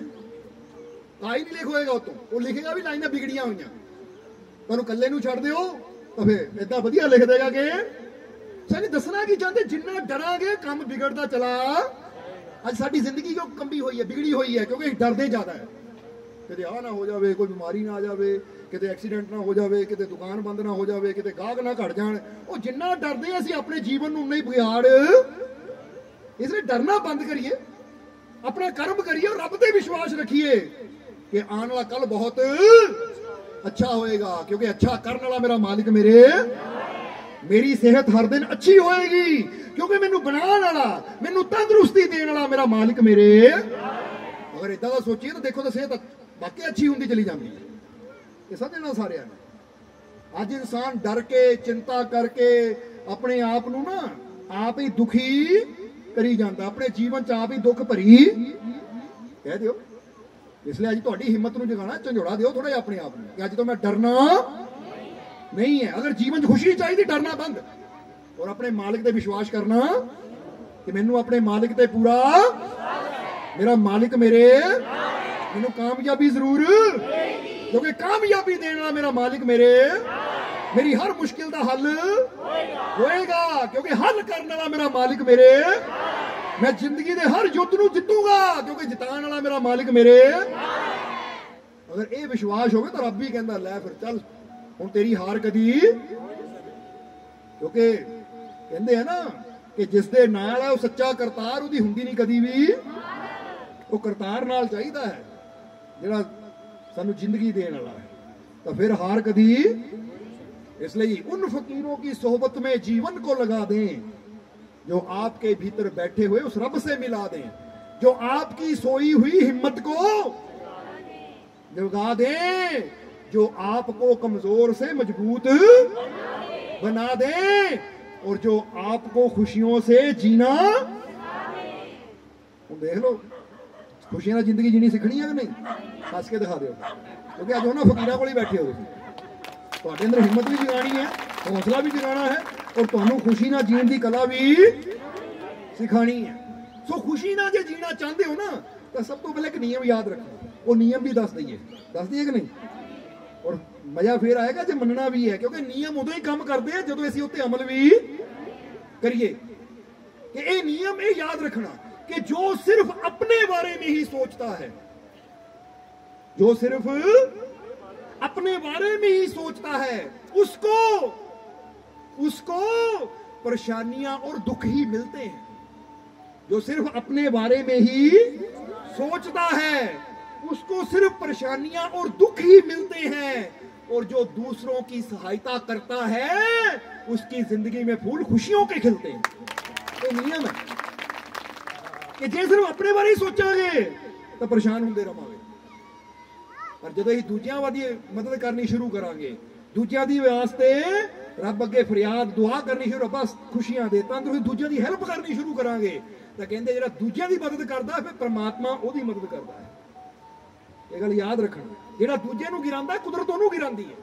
ਤੇ ਜਿਹੜਾ ਦੂਜੇ ਨੂੰ ਉਠਾਉਣ ਵਿੱਚ ਮਦਦ ਕਰਦਾ ਹੈ, ਉਹਦੀ ਬਾਹ ਫੜ ਕੇ ਅੱਗੇ ਲੈ ਕੇ ਜਾਣ ਵਿੱਚ ਮਦਦ ਕਰਦਾ ਤਾਂ ਰੱਬ ਕਹਿੰਦਾ, ਚੱਲ ਤੂੰ ਉਹਦੀ ਹੈਲਪ ਕੀਤੀ ਤਾਂ ਮੈਂ ਤਾਂ ਜੇ ਅਸੀਂ ਕਿਸੇ ਨੂੰ ਗਿਰਾਉਂਦੇ ਆ ਤਾਂ ਕੁਦਰਤ ਕਹਿੰਦਾ, ਤੂੰ ਉਹਨੂੰ ਗਿਰਾਇਆ, ਲੈ ਹੁਣ ਮੈਂ ਤੈਨੂੰ ਗਿਰਾਉਂ।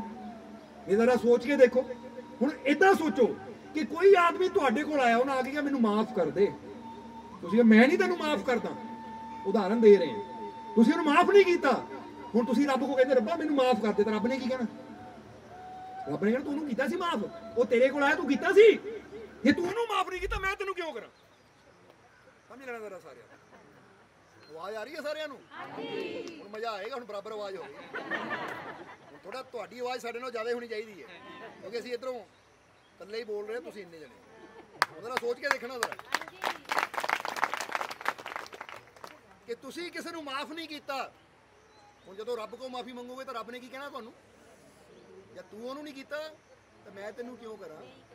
ਸਮਝਦੇ ਹੋ ਕਿ ਨਹੀਂ? ਹੁਣ ਕੋਈ ਪਿਆਸਾ ਤੁਹਾਡੇ ਕੋਲ ਆਂਦਾ ਮੈਨੂੰ ਪਾਣੀ ਦੇ ਦੇ। ਜਾਂ ਮੈਂ ਨਹੀਂ ਤੈਨੂੰ ਪਾਣੀ ਦਿੰਦਾ। ਰੱਬਾ ਮੈਂ ਤੇ ਮੈਨੂੰ ਪਾਣੀ ਦੇ ਦੇ। ਤੂੰ ਉਹਨੂੰ ਦਿੱਤਾ ਸੀ, ਮੈਂ ਤੈਨੂੰ ਕਿਉਂ ਦੇਵਾਂ?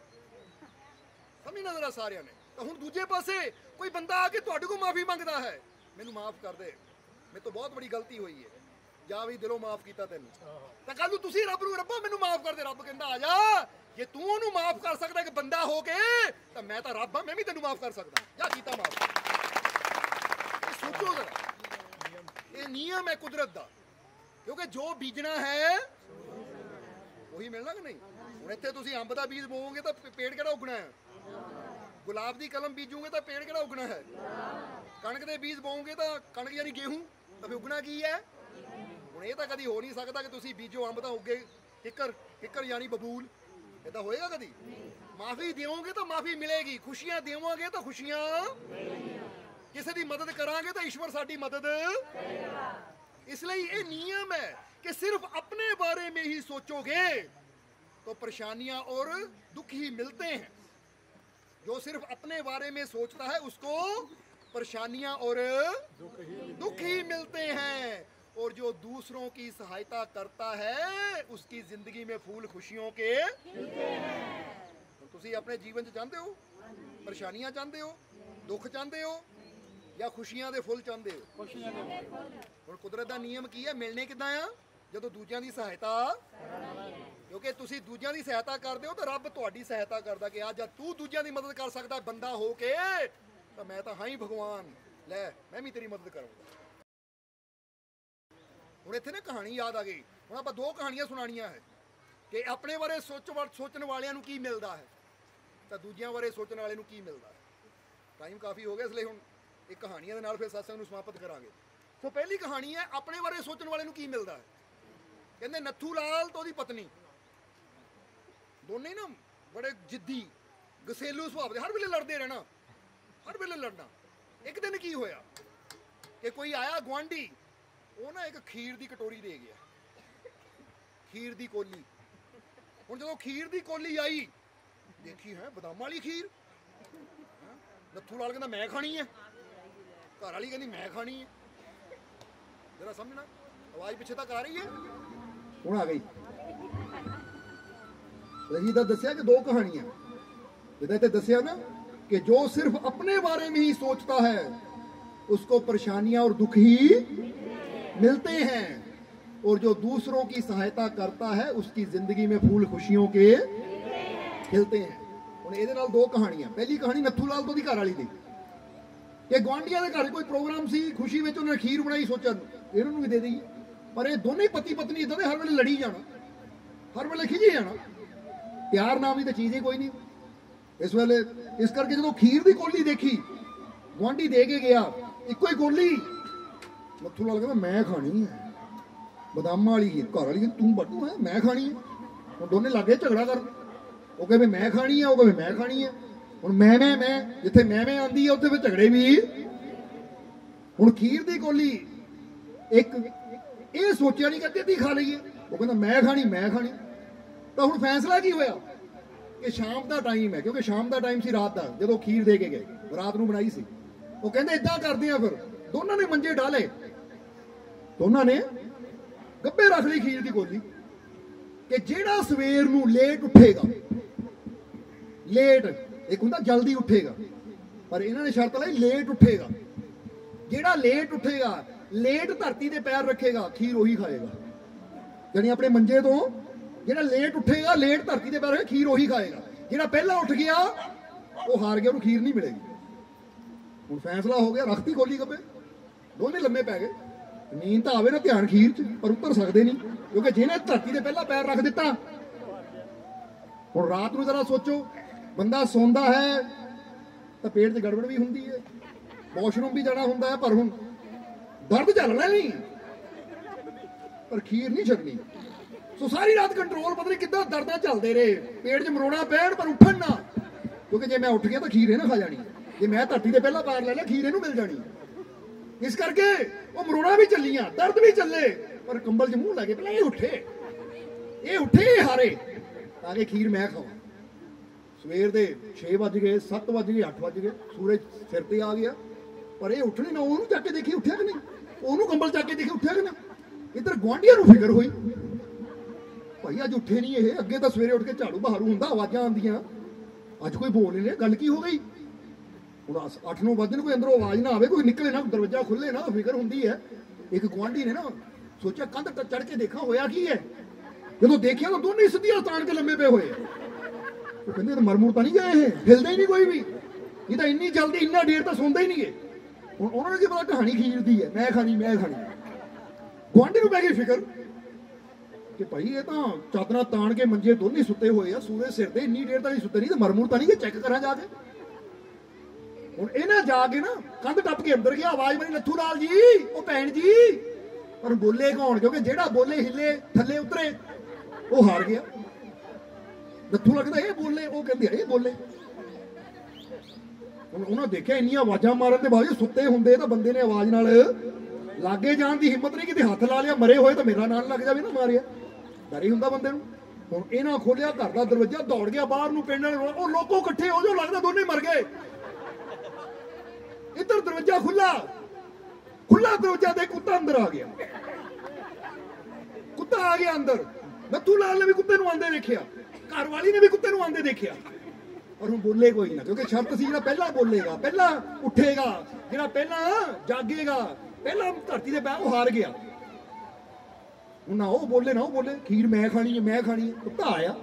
ਖੀਰ ਗੱਬੇ ਕੁੱਤਾ ਸੁੰਘਦਾ ਸੁੰਘਦਾ ਆਇਆ ਕਿਉਂਕਿ ਕੁੱਤੇ ਦੀ ਨੱਕ ਦੀ ਸਮੈਲ ਬੜੀ ਤੇਜ਼ ਹੁੰਦੀ ਹੈ, ਪਤਾ ਹੀ ਹੈ, ਤਾਂ ਹੀ ਚੋਰਾਂ ਨੂੰ ਫੜਨ ਵਿੱਚ ਵੀ ਪੁਲਿਸ ਕਿਹਦਾ ਉਪਯੋਗ ਕਰਦੀ ਹੈ? ਬਸ ਮਾੜਾ ਕੱਪੜਾ ਸੁੰਘਾ ਦੋ ਤਾਂ ਕੁੱਤਾ ਚਾਹੇ ਕਹਿੰਦੇ 10 ਕਿਲੋਮੀਟਰ 50 ਕਿਲੋਮੀਟਰ ਤੇ ਚੋਰ ਹੋਵੇ, ਸੁੰਘਦਾ ਸੁੰਘਦਾ ਪਹੁੰਚ ਜਾਂਦਾ ਉਹਦੇ ਮਗਰ। ਇਹ ਕੁੱਤੇ ਦੀ ਸੁੰਘਣ ਦੀ ਸ਼ਕਤੀ ਬੜੀ, ਹੁਣ ਉਹਨਾਂ ਸੁੰਘ ਲਿਆ, ਖੀਰ ਪਈ ਹੈ। ਹੁਣ ਕੁੱਤੇ ਨੂੰ ਆਂਦਾ, ਦੇਖ ਲਿਆ, ਮੰਜੇ ਵੱਲ ਆ ਰਿਹਾ ਹੈ। ਪਰ ਨੱਥੂ ਲਾਲ ਸੋਚੇ, ਉਹ ਬੋਲੇਗੀ, ਉਹ ਬੋਲੇਗਾ। ਦੇਖਦੇ ਰਹੇ। ਆਖਰ ਆਇਆ ਕੁੱਤਾ ਖੀਰ ਦੀ ਗੋਲੀ ਦੇਖੀ, ਖੀਰ ਚਟਣੀ ਸ਼ੁਰੂ ਕਰਤੀ ਹੁਣ ਨੱਥੂ ਲਾਲ ਉੱਠਿਆ। ਕਹਿੰਦਾ, ਲੈ ਹੁਣ ਤੂੰ ਹੀ ਖਾ ਲੈ, ਤੂੰ ਹੀ ਖਾ ਲੈ, ਤੂੰ ਹੀ ਖਾ ਲੈ। ਮੈਂ ਨਹੀਂ ਖਾਂਦਾ। ਮੈਨੂੰ ਕੁੱਤਾ ਖੀਰ। ਮਰੋੜ ਵੀ ਚੱਲੇ। ਸਾਰੀ ਰਾਤ ਦਰਦ ਵੀ ਚੱਲੀ। ਸਮਝਦੇ ਹੋ ਕਿ ਨਹੀਂ? ਪਰ ਖੀਰ ਵੀ ਪੱਲੇ। ਕਿਉਂ ਨਹੀਂ ਪਈ? ਮੈਂ ਮੈਂ ਮੈਂ, ਮੈਨੂੰ ਚਾਹੀਦੀ ਮੈਨੂੰ। ਜਿੱਥੇ ਮੇਰੀ ਮੇਰੀ ਆਂਦੀ, ਉੱਥੇ ਤਕਲੀਫ ਪੱਲੇ ਪੈਂਦੀ ਹੈ। ਤਾਂ ਹੀ ਕਹਿੰਦੇ, ਜੋ ਸਿਰਫ ਆਪਣੇ ਬਾਰੇ ਨਹੀਂ ਸੋਚਦਾ ਹੈ जो सिर्फ अपने बारे में ही उसको सिर्फ परेशानियां और दुख ही मिलते हैं ਹੁਣ ਆਪਣੇ ਬਾਰੇ ਹੀ ਸੋਚਿਆ ਜੇ ਦੋਨੇ ਸਲਾਹ ਕਰਦੇ ਉਹ ਚੱਲ ਅੱਧੀ ਅੱਧੀ ਖਾਂਦੇ ਪਿਆਰ ਨਾਲ ਖਾਂਦੇ ਇੱਕ ਚਮਚਾ ਤੂੰ ਖਾ ਇੱਕ ਮੈਂ ਖਾਂਦਾ ਤਾਂ ਵੀ ਦੋਨਾਂ ਨੇ ਖੀਰ ਦਾ ਸਵਾਦ ਵੀ ਲੈ ਲੈਣਾ ਸੀ ਤਾਂ ਸਾਰੀ ਰਾਤ ਦੀ ਦਰਦ ਵੀ ਇੰਨੇ ਆਰਾਮ ਨਾਲ ਸੋਣਾ ਸੀ ਟੈਨਸ਼ਨ ਫ੍ਰੀ ਹੋ ਕੇ ਪਿਆਰ ਨਾਲ ਪਰ ਮੈਂ ਖਾਣੀ ਮੈਂ ਖਾਣੀ ਮੇਰੀ ਮੇਰੀ ਮੇਰੀ ਆ ਜਿੰਨਾ ਬੰਦਾ ਮੈਨੂੰ ਮਿਲੇ ਮੈਨੂੰ ਮਿਲੇ ਬੰਦਾ ਦੁਖੀ ਵੀ ਔਰ ਹੁਣ ਜਿਹੜਾ ਦੂਜਿਆਂ ਦੀ ਸਹਾਇਤਾ ਕਰਦਾ ਹੈ, ਫਿਰ ਉਹਨੂੰ ਕੀ ਮਿਲਦਾ ਹੈ? ਜਿਹੜਾ ਸਮਝਣਾ ਸਾਰੇ, ਇਹ ਹੁਣ ਦੂਜੀ ਕਹਾਣੀ, ਫਿਰ ਸਤਸੰਗ ਨੂੰ ਸਮਾਪਤ ਕਰਾਂਗੇ। ਇਹ ਕਹਾਣੀ ਇੱਕ ਨੌਜਵਾਨ ਦੀ। ਇੱਕ ਨਗਰ 'ਚ ਇੱਕ ਨੌਜਵਾਨ ਰਹਿੰਦਾ ਹੈ, ਪਰ ਨੌਜਵਾਨ ਬੜਾ ਗਰੀਬ। ਨੌਜਵਾਨ ਬੜਾ ਗਰੀਬ ਸੀ, ਜੀਵਨ 'ਚ ਬੜਾ ਪਰੇਸ਼ਾਨ ਸੀ। ਤੇ ਉਹਦੀ ਇੱਕ ਇੱਛਾ ਸੀ ਕਿ ਮੈਂ ਜੀਵਨ 'ਚ ਕਾਮਯਾਬ ਹੋਵਾਂ, ਧਨਵਾਨ ਹੋਵਾਂ। ਕਿਉਂਕਿ ਹਰੇਕ ਦੀ ਇੱਛਾ ਹੁੰਦੀ ਤੇ ਇੱਕ ਵਾਰ ਉਹਦੇ ਨਗਰ ਦੇ ਵਿੱਚ ਇੱਕ ਸਾਧੂ ਆਏ। ਤਾਂ ਸਾਧੂ ਜਦੋਂ ਆਏ ਤਾਂ ਇਹ ਨੌਜਵਾਨ ਉਹਨਾਂ ਕੋ ਗਿਆ ਔਰ ਜਾ ਕੇ ਕਹਿਣ ਲੱਗਾ, ਹੈ ਸਾਧੂ ਮਹਾਰਾਜ, ਮੇਰੇ ਜੀਵਨ 'ਚ ਬੜੇ ਦੁੱਖ ਹੈ, ਬੜੀ ਗਰੀਬੀ ਹੈ। ਸੋ ਦੱਸੋ ਮੈਂ ਅਮੀਰ, ਕਾਮਯਾਬ, ਸਫਲ ਕਿਦਾਂ ਹੋ ਸਕਦਾ, ਸੁਖੀ ਕਿਦਾਂ ਹੋ ਸਕਦਾ? ਉਸ ਲਈ ਸਾਧੂ ਨੇ ਕਿਹਾ, ਬੇਟਾ ਇਦਾਂ ਹੈ ਕਿ ਫਲਾਨੀ ਜਗ੍ਹਾ ਇੱਕ ਜੰਗਲ ਹੈ। ਜੰਗਲ ਦੇ ਵਿੱਚ ਨਾ ਇੱਕ ਪਹਾੜੀ ਗੁਫਾ ਹੈ ਕਿਉਂਕਿ ਮੈਂ ਉੱਥੇ ਤਪ ਕਰਕੇ ਆਇਆ ਹਾਂ। ਸੋ ਮੈਂ ਤੈਨੂੰ ਇਹ ਕਹਿਣਾ ਚਾਹੁੰਦਾ ਹਾਂ, ਉਹ ਗੁਫਾ ਜਗ੍ਹਾ ਤੂੰ ਇੱਕ ਰਾਤ ਬਹਿ ਕੇ ਬੰਦਗੀ ਕਰੇ।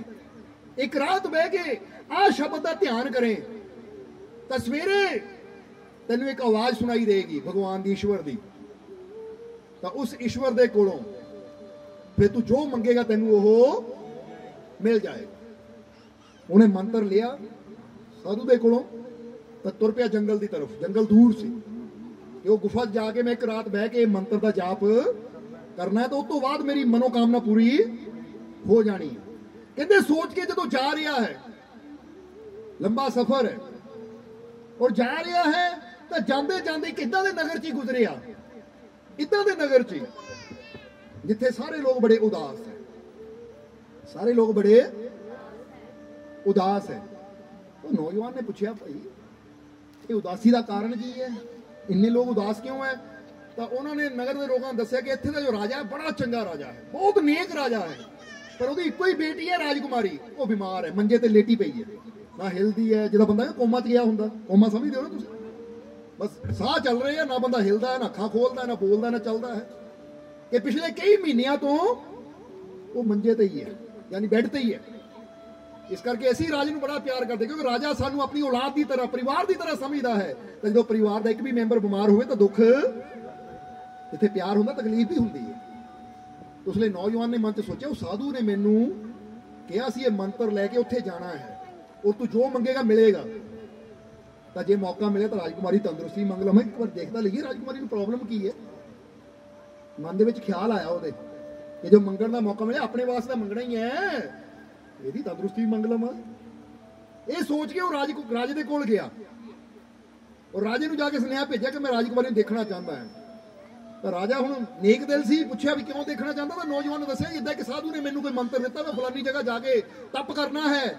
ਔਰ ਫਿਰ ਮੈਨੂੰ ਈਸ਼ਵਰ ਦੀ ਆਵਾਜ਼ ਆਣੀ ਜੋ ਮੰਗਣਾ ਮਿਲ ਜਾਣਾ ਹੈ ਤਾਂ ਮੈਂ ਸੋਚਿਆ ਜਦੋਂ ਸੁਣਿਆ ਕਿ ਇੰਨੇ ਲੋਕ ਦੁਖੀ ਹੈ ਇੱਕ ਰਾਜਕੁਮਾਰੀ ਦੀ ਸਿਹਤ ਨੂੰ ਲੈ ਕੇ ਤਾਂ ਮੈਂ ਸੋਚਿਆ ਇੱਕ ਵਾਰ ਰਾਜਕੁਮਾਰੀ ਦੇਖ ਹੀ ਲਵਾਂ। ਸਮਝਦੇ ਹੋ ਆਵਾਜ਼ ਆ ਰਹੀ ਹੈ ਹਾਂਜੀ ਉੱਚੀ ਦੇ ਦਿਓ ਜਰਾ। ਹਾਂਜੀ। ਪਿੱਛੇ ਆਵਾਜ਼ ਆ ਰਹੀ ਹੈ ਹਾਂਜੀ। ਹੱਥ ਖੜਾ ਕਰਕੇ ਦੱਸ ਦਿਓ। ਠੀਕ ਹੈ ਕਲੀਅਰ ਹੈ ਹੁਣ ਕਹਿੰਦੇ ਹੈ ਕਿ ਰਾਜੇ ਨੇ ਜਦੋਂ ਸੁਣਿਆ ਤਾਂ ਰਾਜਾ ਲੈ ਗਿਆ ਉਹਨੂੰ ਰਾਜਕੁਮਾਰੀ ਦੇ ਕੋਲ ਜਦੋਂ ਦੇਖਿਆ ਤਾਂ ਰਾਜਕੁਮਾਰੀ ਲੇਟੀ ਹੋਈ ਤਾਂ ਨੌਜਵਾਨ ਨੇ ਕਿਹਾ ਠੀਕ ਹੈ ਠੀਕ ਹੈ ਬਈ। ਪਤਾ ਲੱਗ ਗਿਆ ਹੁਣ ਮੈਂ ਰਾਜਕੁਮਾਰੀ ਨੂੰ ਦੇਖ ਵੀ ਲਿਆ ਹੈ। ਹੁਣ ਜਦੋਂ ਮੈਂ ਤਪੱਸਿਆ ਕਰੂੰਗਾ ਇਹਦੇ ਵਾਸਤੇ ਮੰਗ ਵੀ। ਹੁਣ ਕਹਿੰਦੇ ਤੁਰ ਪਿਆ ਰਾਜਕੁਮਾਰ ਅੱਗੇ। ਤੁਰ ਪਿਆ ਰਾਜਕੁਮਾਰ। ਯਾਨੀ ਉਹ ਨੌਜਵਾਨ ਤੁਰ ਪਿਆ ਅੱਗੇ ਰਾਜਕੁਮਾਰੀ ਨੂੰ ਦੇਖ ਕੇ। ਜਦੋਂ ਚੱਲਦਾ ਚੱਲਦਾ ਹੋਰ ਅੱਗੇ ਗਿਆ ਤਾਂ ਅੱਗੇ ਉਹ ਜੰਗਲ ਦੀ ਤਰਫ ਜਾਂਦੇ ਆ। ਉਹਨੂੰ ਰਸਤੇ 'ਚ ਇੱਕ ਨਾ ਕੁੱਲੀ ਮਿਲੀ। ਉਹ ਕੁੱਲੀ ਸੀ ਇੱਕ ਜਾਦੂਗਰ ਦੀ। ਜਿੱਥੇ ਇੱਕ ਸਿਆਣਾ ਜਿਹਾ ਜਾਦੂਗਰ ਬੈਠਾ ਹੈ। ਸਿਆਣਾ ਜਾਦੂਗਰ ਬੈਠਾ ਹੈ। ਤਾਂ ਉਹ ਜਾਦੂਗਰ ਦੇ ਕੋਲ ਜਦੋਂ ਉਹ ਕਿਉਂਕਿ ਸ਼ਾਮ ਹੋ ਚੁੱਕੀ ਸੀ, ਉਹਨਾਂ ਰਾਤ ਰੁਕਣਾ ਸੀ, ਇਸ ਲਈ ਉਹਨਾਂ ਕੁੱਲੀ ਦਾ ਗੇਟ ਖ- ਦਰਵਾਜ਼ਾ ਖੜਕਾਇਆ। ਜਾਦੂਗਰ ਨੇ ਦਰਵਾਜ਼ਾ ਖੋਲ੍ਹਿਆ, ਹਾਂ ਨੌਜਵਾਨ, ਤਾਂ ਨੌਜਵਾਨ ਨੇ ਕਿਹਾ ਜੀ, ਅੱਜ ਦੀ ਰਾਤ ਮੈਂ ਰੁਕ ਸਕਦਾ ਤੁਹਾਡੇ ਕੋਲ, ਕਿਉਂਕਿ ਮੈਂ ਬੜੇ ਲੰਬੇ ਸਫ਼ਰ ਤੇ ਜਾ ਰਿਹਾ ਹਾਂ। ਜਾਦੂਗਰ ਨੇ ਕਿਹਾ, ਰੁਕ ਜਾ। ਹੁਣ ਰਾਤ ਰੁਕਿਆ, ਤਾਂ ਜਾਦੂਗਰ ਨੇ ਪੁੱਛਿਆ, ਜਾਣਾ ਕਿੱਥੇ? ਉਹਨੇ ਸਾਰੀ ਗੱਲ ਦੱਸੀ। ਤਾਂ ਜਦੋਂ ਦੱਸੀ, ਤਾਂ ਜਾਦੂਗਰ ਕਹਿੰਦਾ, ਫਿਰ ਨੌਜਵਾਨ, ਤੂੰ ਜਾ ਹੀ ਰਿਹਾ ਹੈ, ਭਗਵਾਨ ਨਾਲ ਮੁਲਾਕਾਤ ਕਰਨ। ਤਾਂ ਮੇਰੇ ਬਾਰੇ ਹੀ ਪੁੱਛਣੀ ਕਿਉਂਕਿ ਮੈਂ ਹੁਣ ਸਿਆਣਾ ਹੋ ਚੁੱਕਾ ਹਾਂ। ਔਰ ਮੈਂ ਚਾਹੁੰਦਾ ਮੁਕਤੀ, ਮੋਕਸ਼। ਮੇਰੀ ਉਮਰ ਦੇਖ ਲੈ 150 ਸਾਲ ਤੋਂ ਉੱਪਰ ਉਮਰ ਹੋ ਗਈ, ਮੈਨੂੰ ਮੁਕਤੀ ਨਹੀਂ ਮਿਲ ਰਹੀ। ਸੋ ਰੱਬ ਨੂੰ ਪੁੱਛ ਲਈ ਮੇਰੀ ਮੁਕਤੀ ਕਿੱਦਾਂ ਹੋ ਸਕਦੀ ਮੇਰੇ ਵਾਸਤੇ ਮੁਕਤੀ ਮੰਗ ਲਈ। ਨੌਜਵਾਨ ਕਹਿੰਦਾ, ਠੀਕ ਹੈ ਭਾਈ, ਤੁਹਾਡੇ ਵਾਸਤੇ ਜੇ ਅੱਜ ਰਾਤ ਤੁਹਾਡੇ ਕੋਲ ਰੁਕੀ ਹੈ, ਤੁਸੀਂ ਇੰਨਾ ਮੇਰੇ ਖਾਣ ਪੀਣ ਦਾ, ਰਾਤ ਰਹਿਣ ਦਾ ਪ੍ਰਬੰਧ ਕੀਤਾ ਹੈ, ਤਾਂ ਮੈਂ ਤੁਹਾਡੀ ਗੱਲ ਵੀ ਰੱਬ ਨਾਲ ਕਰ ਲੂੰ। ਸਮਝਣਾ ਸਾਰਾ ਜਾਣਾ ਹੁਣ ਉਹ ਕਹਿੰਦੇ, ਰਾਤ ਉੱਥੇ ਰੁਕਿਆ ਜਾਦੂਗਰ ਦੇ ਕੋਲ, ਅਗਲੇ ਦਿਨ ਨੌਜਵਾਨ ਚਲਾ ਗਿਆ। ਰਵਾਨਾ ਹੋ ਗਿਆ ਅਗਲੇ ਸਫ਼ਰ ਤੇ। ਅੱਗੇ ਸਫ਼ਰ ਕਰਦਿਆਂ ਕਰਦਿਆਂ ਕਰਦਿਆਂ ਕਰਦਿਆਂ ਹੁਣ ਗੁਫਾ ਤੱਕ ਪਹੁੰਚਣ ਵਾਸਤੇ ਰਸਤੇ 'ਚ ਇੱਕ ਨਦੀ ਹੈ ਔਰ ਨੌਜਵਾਨ ਨੂੰ ਤੈਰਨਾ ਨਹੀਂ ਆਉਂਦਾ। ਹੁਣ ਸਮੱਸਿਆ ਆ ਗਈ, ਨਦੀ ਪਾਰ ਕਿੱਦਾਂ ਕਰਾਂ? ਨਾ ਇੱਥੇ ਕਸ਼ਤੀ ਹੈ, ਨਾ ਹੀ ਕੋਈ ਆਦਮੀ ਹੈ ਜਿਹੜਾ ਮੈਨੂੰ ਪਾਰ ਪਾਰ ਕਰਾ ਸਕੇ। ਤਾਂ ਬੜਾ ਪਰੇਸ਼ਾਨ ਹੈ। ਉਹ ਬੈਠ ਗਿਆ ਨਦੀ ਦੇ ਕੋਲ ਪਰੇਸ਼ਾਨ ਹੋ ਕੇ ਤਾਂ ਜਦ ਨੂੰ ਕਹਿੰਦੇ ਕਛੂਆ ਆਇਆ, ਬਹੁਤ ਬੜਾ ਕਛੂਆ। ਉਹ ਕਛੂਏ ਨੇ ਆ ਕੇ ਪੁੱਛਿਆ, ਨੌਜਵਾਨ, ਪਰੇਸ਼ਾਨ ਕਿਉਂ ਹੈ? ਉਹ ਕਹਿੰਦਾ, ਮੈਂ ਨਦੀ ਪਾਰ ਕਰਨੀ ਹੈ। ਉਹ ਕਹਿੰਦੇ, ਨਦੀ ਪਾਰ ਕਰਕੇ ਜਾਣਾ ਕਿੱਥੇ? ਅੱਗੇ ਤਾਂ ਜੰਗਲ ਹੈ। ਅੱਗੇ ਕਿਹੜਾ ਕੋਈ ਸ਼ਹਿਰ ਹੈ ਕੋਈ ਨਗਰ ਹੈ ਤੂੰ ਜਾਣਾ ਕਿੱਥੇ ਹੈ ਨੌਜਵਾਨ ਨੇ ਸਾਰੀ ਗੱਲ ਦੱਸੀ, ਇਦਾਂ ਮੈਂ ਗੁਫਾ 'ਚ ਜਾ ਰਿਹਾ, ਤਪੱਸਿਆ ਕਰਨੀ ਹੈ, ਮੰਤਰ ਦਾ ਜਾਪ ਕਰਨਾ, ਫਿਰ ਈਸ਼ਵਰ ਨਾਲ ਮੇਰੀ ਗੱਲ ਹੋਣੀ ਹੈ, ਉਹ ਤੋਂ ਜੋ ਵੀ ਮਰਜ਼ੀ ਮੰਗ ਸਕਦਾ ਹੈ। ਜਦੋਂ ਕਛੂਏ ਨੇ ਸੁਣਿਆ, ਕਛੂਆ ਕਹਿੰਦਾ, ਹੈ? ਇਹ ਗੱਲ ਹੈ? ਤਾਂ ਫਿਰ ਇਦਾਂ ਕਰੀ ਭਾਈ, ਮੇਰੇ ਉੱਤੇ ਬੈਠ, ਮੈਂ ਤੈਨੂੰ ਨਦੀ ਪਾਰ ਕਰਾ ਦਿੰਦਾ, ਪਰ ਮੇਰਾ ਇੱਕ ਕੰਮ ਕਰ ਦੇ ਨੌਜਵਾਨ ਕਹਿੰਦਾ, ਕਿਹੜਾ ਕੰਮ ਹੈ? ਉਹ ਕਹਿੰਦਾ, ਮੈਂ ਬੜੇ ਸਾਲਾਂ ਤੋਂ ਸੋਚ ਰਿਹਾ ਡਰੈਗਨ ਬਣਨ ਦਾ ਕਿਉਂਕਿ ਡਰੈਗਨ ਹਵਾ ਚੋੜਦੇ ਉੱਡਦੇ ਆ। ਮੈਂ ਕੱਛੂਆ ਮੈਂ ਡਰੈਗਨ ਬਣਨਾ ਚਾਹੁੰਦਾ ਹਾਂ, ਤਾਂ ਰੱਬ ਨੂੰ ਪੁੱਛ ਲਈ ਮੈਂ ਡਰੈਗਨ ਕਿੱਦਾਂ ਬਣ ਸਕਦਾ ਕਿਉਂਕਿ ਹਰ ਕੋਈ ਵਧੀਆ ਹੋਣਾ ਚਾਹੁੰਦਾ ਨਾ। ਨੌਜਵਾਨ ਕਹਿੰਦਾ ਤੇਰੇ ਬਾਰੇ ਹੀ ਪੁੱਛ ਲਵਾਂਗੇ ਕੋਈ ਗੱਲ ਨਹੀਂ। ਪੁੱਛ ਲਵਾਂਗੇ। ਤੂੰ ਮੈਨੂੰ ਨਦੀ ਪਾਰ ਕਰਾਈ ਹੈ ਮੇਰੀ ਹੈਲਪ ਕੀਤੀ ਹੈ ਤਾਂ ਤੇਰੇ ਬਾਰੇ ਜ਼ਰੂਰ। ਕਹਿੰਦੇ ਕਸ਼ੂ ਨੇ ਨਦੀ ਪਾਰ ਕਰਾਈ ਨੌਜਵਾਨ ਚੱਲਦਾ ਚੱਲਦਾ ਪਹੁੰਚ ਗਿਆ ਗੁਫਾ ਦੇ ਵਿੱਚ। ਗੁਫਾ 'ਚ ਜਦੋਂ ਪਹੁੰਚਿਆ ਬਹਿ ਕੇ ਸਾਧੂ ਦੇ ਦੱਸੇ ਹੋਏ ਮੰਤਰ ਦਾ ਜਾਪ ਕੀਤਾ। ਜਦੋਂ ਜਾਪ ਕੀਤਾ ਸਾਰੀ ਰਾਤ ਜਾਪ ਕੀਤਾ ਮਨ ਲਾ ਕੇ ਬੜੀ ਖੁਸ਼ੀ ਨਾਲ ਪਿਆਰ ਨਾਲ। ਔਰ ਸਵੇਰ ਦਾ ਜਦੋਂ ਵਕਤ ਹੋਇਆ ਤਾਂ ਈਸ਼ਵਰ ਦੀ ਆਵਾਜ਼ ਆਈ ਐ ਨੌਜਵਾਨ ਮੈਂ ਤੇਰੇ ਇਹ ਭਗਤੀ ਤੋਂ ਤਪ ਤੋਂ ਬੜਾ ਖੁਸ਼ ਹਾਂ। ਮੈਂ ਤੈਨੂੰ ਤਿੰਨ ਤਿੰਨ ਚੀਜ਼ਾਂ ਦੇ ਸਕਦਾ ਹਾਂ ਤਿੰਨ ਚੀਜ਼ਾਂ ਮੰਗ ਲੈ ਜਿਹੜੀਆਂ ਮੰਗਣੀਆਂ। ਯਾਨੀ ਤਿੰਨ ਵਚਨ ਮੈਂ ਤੈਨੂੰ ਤਿੰਨ ਵਰਦਾਨ ਮੰਗ ਲੈ ਕੀ ਮੰਗਣਾ ਹੈ। ਤਾਂ ਨੌਜਵਾਨ ਨੇ ਕਿਹਾ, ਤਿੰਨੇ ਹੀ ਦੇਣੇ ਆ। ਉੱਥੇ ਰਾਜਕੁਮਾਰੀ ਤੰਦਰੁਸਤੀ ਵੀ ਹੈ। ਉੱਥੇ ਜਾਦੂਗਰ ਦੀ ਮੁਕਤੀ ਵੀ ਹੈ। ਕਛੂਏ ਦਾ ਡਰੈਗਨ ਬਣਨਾ ਵੀ ਹੈ। ਤਾਂ ਜੇ ਮੈਂ ਉਹਨਾਂ ਵਾਸਤੇ ਮੰਗਿਆ ਤਾਂ ਮੈਂ ਰਹਿ ਜਾਣਾ। ਤਾਂ ਜੇ ਮੈਂ ਆਪਣੇ ਵਾਸਤੇ ਮੰਗ ਲਿਆ ਤਾਂ ਉਹਨਾਂ ਨੂੰ ਕੀ ਮਿਲੇਗਾ ਵਿਚਾਰਿਆਂ ਨੂੰ? ਕਿਉਂਕਿ ਜਾਂਦੇ ਹੋਏ ਮੈਨੂੰ ਮਿਲਣਾ ਵੀ ਪੁੱਛਣਾ ਵੀ ਹੈ। ਕਛੂਏ ਨੇ ਹੀ ਪੁੱਛਣਾ ਹੈ ਜਦੋਂ ਨਦੀ ਪਾਰ ਕਰਾਣੀ ਵਾਪਸ। ਮੇਰੇ ਵਾਸਤੇ ਮੰਗਿਆ ਕਿ ਨਹੀਂ? ਮੈਂ ਕੀ ਕਹਾਂ? ਤੈਨੂੰ ਨਹੀਂ ਮੰਗਿਆ ਆਪਣੇ ਵਾਸਤੇ ਮੰਗਿਆ। ਤਾਂ ਨੌਜਵਾਨ ਬੜਾ ਪਰੇਸ਼ਾਨੀ 'ਚ ਪੈ ਗਿਆ। ਤਿੰਨੇ ਹੀ ਵਰਦਾਨ ਹੈ। ਔਰ ਤਿੰਨੇ ਅੱਗੇ ਸਵਾਲ ਵੀ ਖੜੇ ਆ ਤਾਂ ਚੌਥਾ ਮੈਂ ਵੀ ਆ ਹੁਣ ਜਾਂ ਤਾਂ ਮੈਂ ਆਪਣੇ ਬਾਰੇ ਮੰਗਾ ਜਾਂ ਫਿਰ ਮੈਂ ਇਹਨਾਂ ਬਾਰੇ ਮੰਗਾ। ਤਾਂ ਉਸ ਲਈ ਫਿਰ ਉਹਨਾਂ ਸੋਚਿਆ ਉਹ ਕੋਈ ਗੱਲ ਨਹੀਂ। ਮੇਰੀ ਤਾਂ ਜ਼ਿੰਦਗੀ ਜਿੱਦਾਂ ਚੱਲ ਰਹੀ ਹੈ ਚੱਲ ਹੀ ਰਹੀ ਹੈ। ਉਹ ਬਜ਼ੁਰਗ ਜਾਦੂਗਰ ਕਿੰਨਾ ਬਜ਼ੁਰਗ ਹੋ ਚੁੱਕਾ ਹੈ। ਉਹਦੀ ਹੈਲਪ ਕਰਨੀ ਚਾਹੀਦੀ ਹੈ। ਆ ਕਛੂਆ ਵਿਚਾਰਾ ਜਿਹਨਾਂ ਨਦੀ ਪਾਰ ਕਰਾਈ। ਜੇ ਨਦੀ ਨਾ ਮੈਨੂੰ ਪਾਰ ਕਰਾਉਂਦਾ ਇੱਥੇ ਤੱਕ ਮੈਂ ਪਹੁੰਚ ਸਕਦਾ ਹੀ ਨਹੀਂ ਸੀ। ਉਹਦੇ ਬਾਰੇ ਮੰਗ ਲਵਾਂ। ਉਹ ਰਾਜਕੁਮਾਰੀ ਕਿੰਨਾ ਨਗਰ ਪਰੇਸ਼ਾਨ ਹੈ। ਇਸ ਲਈ ਉਹਨਾਂ ਫਿਰ ਪਹਿਲਾ ਵਰਦਾਨ ਕਿ ਇਹ ਈਸ਼ਵਰ ਪਹਿਲਾਂ ਮੈਂ ਚਾਹੁੰਦਾ ਰਾਜਕੁਮਾਰੀ ਤੰਦਰੁਸਤ ਹੋ ਜਾਵੇ। ਸਮਝਦੇ ਹੋ ਕਿ ਨਹੀਂ? ਤਾਂ ਈਸ਼ਵਰ ਨੇ ਕਿਹਾ ਉਹ ਰਾਜਕੁਮਾਰੀ ਤੰਦਰੁਸਤ ਉਦੋਂ ਹੀ ਹੋਏਗੀ ਜਦੋਂ ਕੋਈ ਨੌਜਵਾਨ ਉਹਦੇ ਨਾਲ ਸ਼ਾਦੀ ਕਰੇਗਾ। ਜਿੱਦਾਂ ਹੀ ਉਹਦੇ ਨਾਲ ਸ਼ਾਦੀ ਕਰੇਗਾ ਰਾਜਕੁਮਾਰੀ ਠੀਕ ਹੋ ਜਾਏਗੀ। ਇਹ ਸਮਝਣਾ ਜ਼ਰਾ ਸਾਰਿਆਂ ਨੇ। ਉਹ ਕਹਿੰਦਾ, ਠੀਕ ਹੈ, ਜਾ ਕੇ ਰਾਜੇ ਨੂੰ ਦੱਸ ਦੇਵਾਂਗੇ। ਫਿਰ ਦੂਜਾ ਪੁੱਛਿਆ ਕਿ ਜਾਦੂਗਰ, ਉਹ ਵੀ ਮੁਕਤੀ ਚਾਹੁੰਦਾ ਹੈ। ਤਾਂ ਉਸ ਵੇਲੇ ਈਸ਼ਵਰ ਨੇ ਕਿਹਾ, ਜਾਦੂਗਰ ਦੇ ਹੱਥ 'ਚ ਨਾ ਉਹਦੀ ਜਾਦੂ ਦੀ ਛੜੀ ਹੈ। ਉਹਦੇ ਨਾਲ ਬੜਾ ਮੋਹ ਕਰਦਾ ਹੈ। ਔਰ ਜਦ ਤੱਕ ਬੰਦਾ ਕਿਸੇ ਮੋਹ 'ਚ ਫਸਿਆ ਹੋਵੇ, ਉਹਨੂੰ ਮੁਕਤੀ ਉਹਨੂੰ ਕਹਿਣਾ, ਉਹ ਖੁਸ਼ੀ ਨਾਲ ਉਹ ਛੜੀ ਦਾ ਤਿਆਗ ਕਰ ਦੇਵੇ, ਉਹਨੂੰ ਮੁਕਤੀ ਮਿਲ ਜਾਏ। ਉਹ ਕਹਿੰਦਾ, ਠੀਕ ਹੈ ਜੀ। ਰੱਬ ਕਹਿੰਦਾ, ਹੁਣ ਆਖਰੀ ਔਰ ਤੀਜਾ ਸਵਾਲ ਪੁੱਛ ਲੈ। ਉਹ ਕਹਿੰਦਾ, ਜੀ, ਤੀਜਾ ਸਵਾਲ ਹੈ ਕਿ ਰਸਤੇ 'ਚ ਕਛੂਆ ਹੈ। ਉਹ ਕਈ ਸਾਲਾਂ ਤੋਂ ਡਰੈਗਨ ਬਣਨ ਦੀ ਕੋਸ਼ਿਸ਼ ਕਰ ਰਿਹਾ ਹੈ। ਕਈ ਸਾਲਾਂ ਤੋਂ ਡਰੈਗਨ ਬਣਨ ਦੀ ਕੋਸ਼ਿਸ਼ ਕਰ ਰਿਹਾ ਹੈ ਸੋ ਮਹਾਰਾਜ ਉਹਨੂੰ ਡਰੈਗਨ ਬਣਨ ਜੋ- ਤਾਂ ਰੱਬ ਨੇ ਕਿਹਾ ਉਹਨੂੰ ਕਿ ਆਪਣੇ ਖੋਲ ਦਾ ਤਿਆਗ ਕਰ ਦਿਓ ਡਰੈਗਨ ਬਣ ਜਾਏਗਾ ਕਿਉਂਕਿ ਕੁਛ ਨਾ ਕੁਛ ਤਿਆਗ ਕਰਨਾ ਪੈਂਦਾ ਫੇਰ ਹੀ ਕੁਛ ਮਿਲਦਾ ਅੱਜ ਬੰਦਾ ਤਿਆਗ ਕਰਨ ਨੂੰ ਤਿਆਰ ਨਹੀਂ ਮਿਲ ਮੈਨੂੰ ਸਭ ਕੁਝ ਆਵੇ ਤਿਆਗ ਨਾ ਮੈਨੂੰ ਕੁਝ ਕਰਨਾ ਪਵੇ ਤੇ ਯਾਦ ਰੱਖੋ ਇੱਕ ਸਾਹ ਲੈਣ ਵਾਸਤੇ ਵੀ ਇੱਕ ਸਾਹ ਛੱਡਣਾ ਪੈਂਦਾ ਤਾਂ ਹੀ ਅਸੀਂ ਸਾਹ ਹੁਣ ਤੁਸੀਂ ਬਿਨਾਂ ਸਾਹ ਛੱਡਿਆ ਲੈ ਕੇ ਦਿਖਾਓ ਲੈ ਲਓਗੇ ਤਾਂ ਹੀ ਕਹਿੰਦੇ ਕੁਝ ਪਾਣ ਵਾਸਤੇ ਕੁਝ ਦੇਣਾ। ਪੈਂਦਾ ਹੈ। ਮੁਫਤ ਵਿੱਚ ਕੁਝ ਵੀ ਧਰਤੀ ਜੋ ਵੀ ਕੁਝ ਲੈਣਾ ਹੈ ਨਾ, ਪਹਿਲਾਂ ਦੇਣਾ ਪੈਂਦਾ ਇਹਨੂੰ। ਕਿਸਾਨ ਵੀ ਇੱਕ ਬੋਰੀ ਪਾਉਂਦਾ, ਧਰਤੀ ਫਿਰ ਕਈ ਗੁਣਾ ਕਰਕੇ ਮੋੜਦੀ ਹੈ ਕਿਸਾਨ, ਮੈਂ ਤਾਂ ਪਾਣਾ ਨਹੀਂ, ਧਰਤੀ ਦੇਵੇ ਮੈਨੂੰ। ਤਾਂ ਫਿਰ ਧਰਤੀ ਵੀ ਤਾਂ ਹੀ ਕਹਿੰਦੇ ਕੁਦਰਤ ਨੂੰ ਜੋ ਦਿੰਦੇ ਆ, ਉਹ ਕੁਦਰਤ ਸਾਨੂੰ ਕਈ ਗੁਣਾ ਕਰਕੇ ਤਾਂ ਹੀ ਤਾਂ ਕਬੀਰ ਸਾਹਿਬ ਨੇ ਕਿਹਾ ਕਿ ਕੰਚਨ ਦਿਆ ਕਰਨ ਨੇ ਦ੍ਰੋਪਤੀ ਦੀਨਾ ਚੀਰ, ਜੋ ਦੀਨਾ ਸੋ ਪਾਇਆ, ਕਹਿ ਗਏ ਦਾਸ। ਕਬੀਰ ਕਹਿੰਦੇ, ਕਰਨ, ਉਹਨੇ ਆਪਣੇ ਸੋਨੇ ਦੇ ਦੰਦ ਇੱਕ ਸਾਧੂ ਨੂੰ ਦਾਨ ਕੀਤੇ ਸੀ ਉਹਦੇ ਬਦਲੇ ਉਹਨੂੰ ਰਾਜ ਮਿਲ ਗਿਆ। ਕਿਉਂਕਿ ਸਾਧੂ ਨੇ ਵਰਦਾਨ ਦਿੱਤਾ ਕਿ ਜਾ, ਤੂੰ ਮੈਨੂੰ ਸੋਨਾ ਕੀਤਾ ਤਾਂ ਤੂੰ ਇੰਨੀ ਤਰੱਕੀ ਕਰੇਗਾ ਕਿ ਜਿਸ ਘਰ 'ਚ ਰਹੇਗਾ, ਉਹਦੇ ਪਿੱਲਰ ਵੀ ਸੋਨੇ ਦੇ ਹੋਣਗੇ। ਔਰ ਵਾਕਿਆ ਹੀ ਕਹਿੰਦੇ, ਕਰਨ, ਜਦੋਂ ਦਰਯੋਧਨ ਨੇ ਉਹਨੂੰ ਰਾਜ ਦਿੱਤਾ ਤੇ ਇੰਨੀ ਉਹਦੇ ਰਾਜ 'ਚ ਬਰਕਤ ਹੋਈ ਕਿ ਉਹਦੇ ਪਿੱਲ- ਮਹਿਲ ਦੇ ਪਿੱਲਰ ਵੀ ਤੇ ਜਦੋਂ ਕਹਿੰਦੇ ਸ਼੍ਰੀ ਕ੍ਰਿਸ਼ਨ ਬੈਠੇ ਹੋਏ ਆ ਪੰਜੇ ਪਾਂਡਵ ਬੈਠੇ ਆ। ਤਾਂ ਅਚਾਨਕ ਉਹਨੇ ਇੱਕ ਤਲਵਾਰ ਲਈ, ਉਹ ਤੇ ਉਂਗਲੀ ਫੇਰ ਕੇ ਦੇਖਣ ਲੱਗ ਪਏ, ਧਾਰ ਕਿੰਨੀ ਕੁ ਤੇਜ਼ ਹੈ ਹਲੇ ਧਾਰ ਤੇ ਉਂਗਲੀ ਫੇਰੀ ਨਾਲ ਹੀ ਉਂਗਲੀ ਕੱਟ ਗਈ ਖੂਨ ਨਿਕਲਣ ਲੱਗ ਪਿਆ। ਉਹ ਦ੍ਰੋਪਦੀ ਦੌੜੀ ਦੌੜੀ ਆਈ, ਉਹਨੇ ਸਾੜੀ ਦਾ ਪੱਲੂ ਪਾੜਿਆ। ਕਹਿੰਦੀ ਆ ਤੁਸੀਂ ਕੀ ਬੱਚਿਆਂ ਵਾਲੇ ਕੰਮ ਕਰ ਰਹੇ ਹੋ? ਪਤਾ ਨਹੀਂ, ਤਲਵਾਰ ਤੇਜ਼ ਹੈ ਤੁਸੀਂ ਉਂਗਲੀ ਕਟਾ ਲਈ ਆਪਣੀ, ਕਹਿ ਕੇ ਆਪਣਾ ਸਾੜੂ ਦਾ ਸਾੜੀ ਪਾੜ ਕੇ ਉਂਗਲੀ ਤੇ ਬੰਨੀ, ਸ਼੍ਰੀ ਕ੍ਰਿਸ਼ਨ ਮੁਸਕਰਾਏ। ਕਹਿੰਦੇ, ਇਹਦੇ ਪਿੱਛੇ ਵੀ ਕੋਈ ਰਾਜ ਹੈ? ਇਹ ਉਂਗਲੀ ਕਟਾਣ ਪਿੱਛੇ ਔਰ ਤੇਰੀ ਸਾੜੀ ਦਾ ਪੱਲੂ ਆ ਕੱਪੜਾ ਲੈਣ ਪਿੱਛੇ ਵੀ ਕੋਈ ਉਹ ਕਹਿੰਦੀ, ਕੀ ਰਾਜ ਹੈ? ਸ਼੍ਰੀ ਕ੍ਰਿਸ਼ਨ, ਬਖਤਾਨ ਤੇ ਦੱਸਾਂਗੇ। ਔਰ ਫੇ ਪਤਾ ਕਦੋਂ ਲੱਗਾ ਕਿ ਆਪਣੀ ਸਾੜੀ ਦਾ ਥੋੜਾ ਜਿਹਾ ਕੱਪੜਾ ਪਾੜ ਕੇ ਕ੍ਰਿਸ਼ਨ ਨੂੰ ਸੀ। ਤਾਂ ਸ਼੍ਰੀ ਕ੍ਰਿਸ਼ਨ ਨੇ ਭਰੀ ਸਭਾ 'ਚ ਦ੍ਰੋਪਦੀ ਦੀ ਲਾਜ ਰੱਖਣ ਵਾਸਤੇ ਸਾੜੀ ਕਿੰਨੇ ਹਜ਼ਾਰ ਮੀਟਰ ਕਰਕੇ ਦਿੱਤੀ ਸੀ। ਯਾਨੀ ਕੁਦਰਤ ਦਾ ਨਿਯਮ ਹੈ, ਜੇ ਅਸੀਂ ਰੱਬ ਦੇ ਰਸਤੇ ਕੁਝ ਦਿੰਦੇ ਆ, ਤਾਂ ਰੱਬ ਨੂੰ ਕਈ ਗੁਣਾ ਕਰਕੇ ਸਾਨੂੰ ਪਰ ਅਜੀ ਰੱਬ ਦੇ ਰਸਤੇ ਦੇਣ ਨੂੰ ਤਿਆਰ ਨਹੀਂ, ਰੱਬ, ਰੱਬਾ ਮੈਨੂੰ ਆ ਵੀ ਮਿਲ ਜਾਵੇ, ਉਹ ਵੀ ਮਿਲ ਜਾਵੇ। ਤੇ ਗੱਲ ਯਾਦ ਰੱਖੋ, ਮਿਲਦਾ ਉਹਨਾਂ ਨੂੰ ਜਿਹੜੇ ਦੇਣ ਨੂੰ ਇਸ ਲਈ ਸਮਝਣਾ ਜ਼ਰਾ ਸਾਰੇ। ਉਹ ਕਹਿੰਦੇ, ਨੌਜਵਾਨ ਨੇ ਜਦੋਂ ਤਿੰਨੇ ਸਵਾਲ ਪੁੱਛੇ, ਆਪਣੇ ਬਾਰੇ ਕੁਝ ਨਹੀਂ ਮੰਗਿਆ। ਮੰਗਿਆ ਰਾਜਕੁਮਾਰੀ ਵਾਸਤੇ, ਜਾਦੂਗਰ ਵਾਸਤੇ ਔਰ ਕਛੂਏ ਵਾਸਤੇ। ਈਸ਼ਵਰ ਹੋ ਗਿਆ ਗਾਇਬ, ਯਾਨੀ ਆਵਾਜ਼ ਬੰਦ ਹੋ ਗਈ, ਨੌਜਵਾਨ ਉੱਠਿਆ। ਉੱਠ ਕੇ ਤੁਰ ਪਿਆ ਵਾਪਸ। ਵਾਪਸ ਆਇਆ ਪਹਿਲਾਂ ਕਛੂਏ ਦੇ ਕੋਲ ਕਸ਼ੂ ਨੇ ਕਿਹਾ, ਹਾਂ ਵੀ ਕੀ ਕਹਿੰਦਾ ਈਸ਼ਵਰ? ਮੈਂ ਡਰੈਗਨ ਕਦੋਂ ਬਣਨਾ ਆ? ਤਾਂ ਨੌਜਵਾਨ ਨੇ ਈਸ਼ਵਰ ਨੇ ਕਿਹਾ, ਆਪਣਾ ਕਵਚ ਲਾ ਦੇ, ਤੂੰ ਡਰੈਗਨ ਬਣ ਜਾਏਗਾ। ਕਹਿੰਦੇ ਕਛੂਏ ਨੇ ਆਪਣੇ ਕਵਚ ਨੂੰ ਜਿਹੜਾ ਉੱਪਰ ਕਵਚ ਹੁੰਦਾ ਹੈ। ਉਹਨੂੰ ਉਤਾਰਿਆ। ਹੁਣ ਦੇਖੋ ਕਵਚ ਉਤਾਰਨ ਲੱਗੇ, ਦਰਦ ਹੁੰਦੀ ਹੈ। ਸਮਝਦੇ ਹੋ ਕਿ ਨਹੀਂ? ਪੀੜਾ ਹੁੰਦੀ ਹੈ। ਪਰ ਜੇ ਕਹਿੰਦੇ ਆ, ਬੈਸਟ ਹੋਣਾ ਹੈ, ਤਾਂ ਪੀੜਾ ਚੱਲਣੀ ਜੇ ਧਰਤੀ ਤੋਂ ਆਕਾਸ਼ ਦੀਆਂ ਉਚਾਈਆਂ ਤੇ ਪਹੁੰਚਣਾ, ਤਾਂ ਦਰਦ ਚੱਲਣਾ ਹੁਣ ਕਛੂਏ ਨੇ ਕਵਚ ਉਤਾਰਿਆ। ਨੌਜਵਾਨ ਨੂੰ ਕਿਹਾ, ਮੇਰੀ ਮਦਦ ਕਰ। ਹੁਣ ਜਦੋਂ ਕਵਚ ਉਤਾਰ ਰਹੀ ਹੈ ਚਮੜੀ ਛਿੱਲ ਹੋ ਰਹੀ ਹੈ। ਦਰਦ ਹੋ ਰਿਹਾ ਹੈ। ਪਰ ਕਛੂਆ ਕਹਿੰਦਾ ਕੱਲ ਮੈਂ ਦਰਦ ਚੱਲਣ ਨੂੰ ਤਿਆਰ ਹਾਂ, ਪਰ ਬਣਨਾ ਡਰਾਈਗਰ ਹੈ। ਉੜ ਕੇ ਦਿਖਾਣਾ ਮੈਂ। ਕਿਦੋਂ ਤੱਕ ਮੈਂ ਜ਼ਮੀਨ ਤੇ ਰੇਂਗਦਾ ਰਹੂੰਗਾ ਹੌਲੀ ਹੌਲੀ ਹੌਲੀ? ਉਹ ਕਹਿੰਦੇ ਆ, ਜਦੋਂ ਨੌਜਵਾਨ ਨੇ ਜ਼ੋਰ ਲਾਇਆ, ਕਛੂਆ ਦਰਦ ਝੱਲਣ ਨੂੰ ਤਿਆਰ ਹੈ, ਖੂਨ ਨਿਕਲ ਰਿਹਾ ਹੈ, ਪਰ ਜਿੱਦਾਂ ਹੀ ਕਵਚ ਉਤਰਿਆ, ਚਮਤਕਾਰ ਹੋ ਗਿਆ, ਉਹ ਕਛੂਆ ਡਰੈਗਨ ਬਣ ਗਿਆ। ਕਿਉਂਕਿ ਰੱਬ ਦਾ ਵਰਦਾਨ ਸੀ। ਇਹਲੇ ਤੁਹਾਡੇ ਆਲੇ ਦੁਆਲੇ ਬਹੁਤ ਕਚ- ਕਵਚ ਲੱਗੇ ਹੋਏ ਆ, ਹੰਕਾਰ ਦੇ, ਮੈਂ ਮੇਰੀ ਦੇ। ਉਤਰਨ ਲੱਗੇ ਚ ਡਰ ਤਾਂ ਹੁੰਦੀ ਹੈ, ਪਰ ਜਦ ਤੱਕ ਉਤਰਾਂਗੇ ਨਹੀਂ ਨਾ ਇਹ ਹੰਕਾਰ ਦੇ ਕਵਚ ਨਹੀਂ ਉਤਾਰਾਂਗੇ। ਮੈਂ ਮੇਰੀ ਦੇ ਕਵਚ ਨਹੀਂ ਉਤਾਰਾਂਗੇ, ਉਦੋਂ ਤੱਕ ਉਚਾਈਆਂ ਤੱਕ ਅਸੀਂ। ਇਹਲੇ ਦਰ ਤਾਂ ਚੱਲਣੀ ਪੈਣੀ ਹੈ। ਇਹ ਕਹਾਣੀ ਸਾਨੂੰ ਗਿਆਨ ਦੇਣ ਵਾਸਤੇ ਹੈ। ਕਿ ਬੈਸਟ ਬਣਨਾ ਤਾਂ ਪੀੜਾ ਚੱਲਣੀ ਪੈਣੀ ਹੈ। ਹੰਕਾਰ ਛੱਡਣਾ ਇਹ ਕ੍ਰੋਧ ਛੱਡਣਾ ਪੈਣਾ ਹੈ। ਹੁਣ ਕਹਿੰਦੇ, ਕਛੂਆ ਬਣ ਗਿਆ ਡਰੈਗਨ। ਜਦੋਂ ਡਰੈਗਨ ਬਣਿਆ, ਤਾਂ ਉਹਨਾਂ ਨੌਜਵਾਨ ਨੂੰ ਕਿਹਾ, ਤੇਰੀ ਵਜ੍ਹਾ ਨਾਲ ਅੱਜ ਮੈਂ ਡਰੈਗਨ ਬਣਿਆ ਭਾਈ। ਹੁਣ ਬੈਠ, ਤੈਨੂੰ ਤੁਰ ਕੇ ਜਾਣ ਦੀ ਲੋੜ ਨਹੀਂ। ਉੱਪਰ ਮੇਰੇ ਬੈਠ, ਮੈਂ ਤੈਨੂੰ ਜਿੱਥੇ ਚਾਹੂੰਗਾ ਲੈ ਕੇ ਜਾਊਂਗਾ। ਨੌਜਵਾਨ ਦੇ ਸ਼ਾਨ ਹੋ ਗਈ ਹੁਣ। ਕਿਉਂਕਿ ਕਸ਼ੂਆ ਕਹਿੰਦਾ, ਮੈਂ ਕਿਤੇ ਤਾਂ ਰਹਿਣਾ ਹੀ ਹੈ ਜੰਗਲਾਂ 'ਚ ਰਹਿਣ ਨਾਲੋਂ ਤੇਰੇ ਨਾਲ ਨਾ ਰਵਾਂ। ਅੱਜ ਤੋਂ ਮੈਂ ਤੇਰੀ ਸਵਾਰੀ ਯਾਨੀ ਤੂੰ ਮੈਂ ਤੇਰੀ ਸਵਾਰੀ ਆ।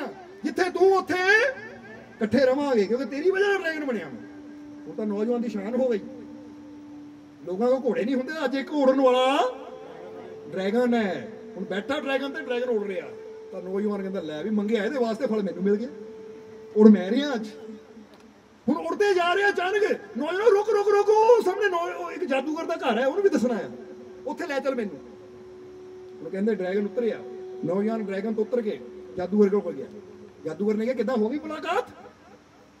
ਤੈਨੂੰ ਦੇਖ ਕੇ ਲੱਗਦਾ ਬੜਾ ਖੁਸ਼ ਹੈ ਤੂੰ। ਕੀ ਕਿਹਾ ਰੱਬ ਨੇ ਮੇਰੇ ਬਾਰੇ। ਤਾਂ ਉਹਨੇ ਕਿਹਾ, ਰੱਬ ਨੇ ਕਿਹਾ, ਤੇਰਾ ਮੋਹ ਜਾਦੂ ਦੀ ਛੜੀ 'ਚ ਫਸਿਆ ਹੋਇਆ ਹੈ। ਇਹ ਛੜੀ ਖੁਸ਼ੀ ਨਾ ਕਿਸੇ ਨੂੰ ਦੇ ਦੇ, ਛੱਡ ਦੇ, ਇਹਦਾ ਤਿਆਗ ਕਰ ਦੇ। ਤਾਂ ਤੇਰੀ ਮੁਕਤੀ? ਜਾਦੂਗਰ ਕਹਿੰਦਾ, ਜੇ ਤਿਆਗ ਹੀ ਕਰਨਾ, ਕਿਉਂ ਨਾ ਮੈਂ ਖੁਸ਼ੀ ਨਾ ਤੈਨੂੰ ਦੇ ਦੇਵਾਂ? ਲੈ, ਆਪਣੀਆਂ ਸ਼ਕਤੀਆਂ। ਇਹ ਜਾਦੂ ਛੜੀ ਮੈਂ ਖੁਸ਼ੀ ਨਾਲ ਤੈਨੂੰ ਦੇ ਰਿਹਾ ਹਾਂ, ਕਿਉਂਕਿ ਤੂੰ ਹੀ ਮੁਕਤੀ ਦਾ ਰਾਜ ਦੱਸਿਆ ਹੈ। ਹੁਣ ਜਦੋਂ ਛੜੀ ਉਹਦੇ ਹੱਥੇ ਰੱਖੀ, ਆਪਣੀਆਂ ਸ਼ਕਤੀਆਂ ਨੂੰ ਦਿੱਤੀਆਂ, ਤਾਂ ਜਾਦੂਗਰ ਹੋ ਗਿਆ, ਤਾਂ ਨੌਜਵਾਨ ਬਣ ਗਿਆ। ਜਾਦੂਗਰ, ਸਾਰੀਆਂ ਸ਼ਕਤੀਆਂ ਨੂੰ ਮਿਲ ਗਈਆਂ, ਬੈਠੇ ਬਿਠਾਏ ਨੂੰ। ਨੌਜਵਾਨ ਕਮਾਲ ਮੰਗਿਆ ਇਹਦੇ ਵਾਸਤੇ ਫਲ। ਮੈਨੂੰ ਮਿਲ ਗਿਆ। ਮੇਰੀ ਸੋਚ ਤੋਂ ਵੀ ਬੜਾ ਮਿਲ ਗਿਆ, ਕਿਉਂਕਿ ਮੈਂ ਕਦੀ ਸੋਚਿਆ ਨਹੀਂ ਸੀ ਡਰੈਗਨ ਮੇਰੇ ਕੋਲ ਹੋਏਗਾ। ਮੈਂ ਕਦੀ ਸੋਚਿਆ ਨਹੀਂ ਸੀ ਕਿ ਮੇਰੇ ਕੋਲ ਜਾਦੂਈ ਚਮਤਕਾਰਾਂ ਦੀ ਕੋਈ ਸ਼ਕਤੀ ਹੋਏਗੀ? ਮੈਂ ਤਾਂ ਸੋਚਿਆ ਸੀ ਮੈਨੂੰ ਧਨ ਚਾਹੀਦਾ ਹੈ। ਮੈਂ ਰੱਬ ਕੋਲੋਂ ਧਨ ਮੰਗਣਾ ਹੈ, ਕਾਮਯਾਬੀ ਮੰਗਣੀ ਹੈ।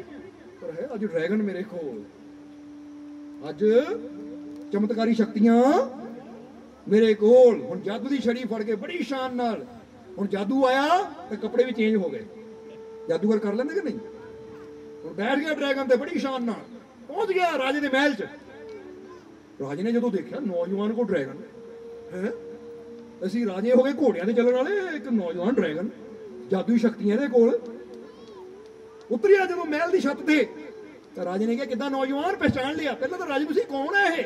ਪਰ ਜਦੋਂ ਨੌ- ਇਹ ਤਾਂ ਉਹੀ ਨੌਜਵਾਨ ਹੈ। ਪੁੱਛਿਆ, ਨੌਜਵਾਨ, ਕਿੱਦਾਂ? ਮੇਰੀ ਬੇਟੀ ਬਾਰੇ ਕੀ ਹੈ? ਤਾਂ ਨੌਜਵਾਨ ਨੇ ਕਿਹਾ, ਰਾਜਾ ਸਾਹਿਬ, ਰੱਬ ਨੇ ਕਿਹਾ ਕਿ ਆਪਣੀ ਬੇਟੀ ਦੀ ਕਿਸੇ ਨਾਲ ਸ਼ਾਦੀ ਕਰ ਦਿਓ, ਠੀਕ ਹੋ ਜਾਏਗੀ। ਤਾਂ ਰਾਜੇ ਨੇ ਕਿਹਾ, ਬੇਟਾ, ਫਿਰ ਕਿਸੇ ਹੋਰ ਨਾਲ ਕਿਉਂ ਕਰਨੀ? ਤੇਰੇ ਨਾਲ ਕਿਉਂ ਨਾ ਕਰਦੀ ਡਰੈਗਨ ਤੇਰੇ ਕੋਲ ਜਾਦੂਈ ਸ਼ਕਤੀਆਂ ਤੇਰੇ ਕੋਲ ਜੇ ਤੂੰ ਮੇਰਾ ਦਿਮਾਗ ਮਰ ਜਾਵੇ ਹੋਰ ਚਾਹੀਦਾ ਕੀ ਮੈਨੂੰ?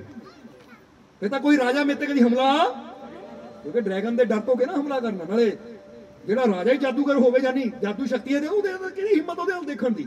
ਲੈ ਮੈਂ ਆਪਣੀ ਬੇਟੀ ਸ਼ਾਦੀ ਤੇਰੇ ਨਾਲ ਕਰਦੇ ਕਹਿੰਦੇ ਜਦੋਂ ਹੀ ਬੈੱਡ ਤੇ ਲੇਟੀ ਬੇਟੀ ਦਾ ਹੱਥ ਇਹਦੇ ਹੱਥ 'ਚ ਦਿੱਤਾ। ਉੱਥੇ ਹੀ ਮੰਤਰ ਪੜੇ ਗਏ।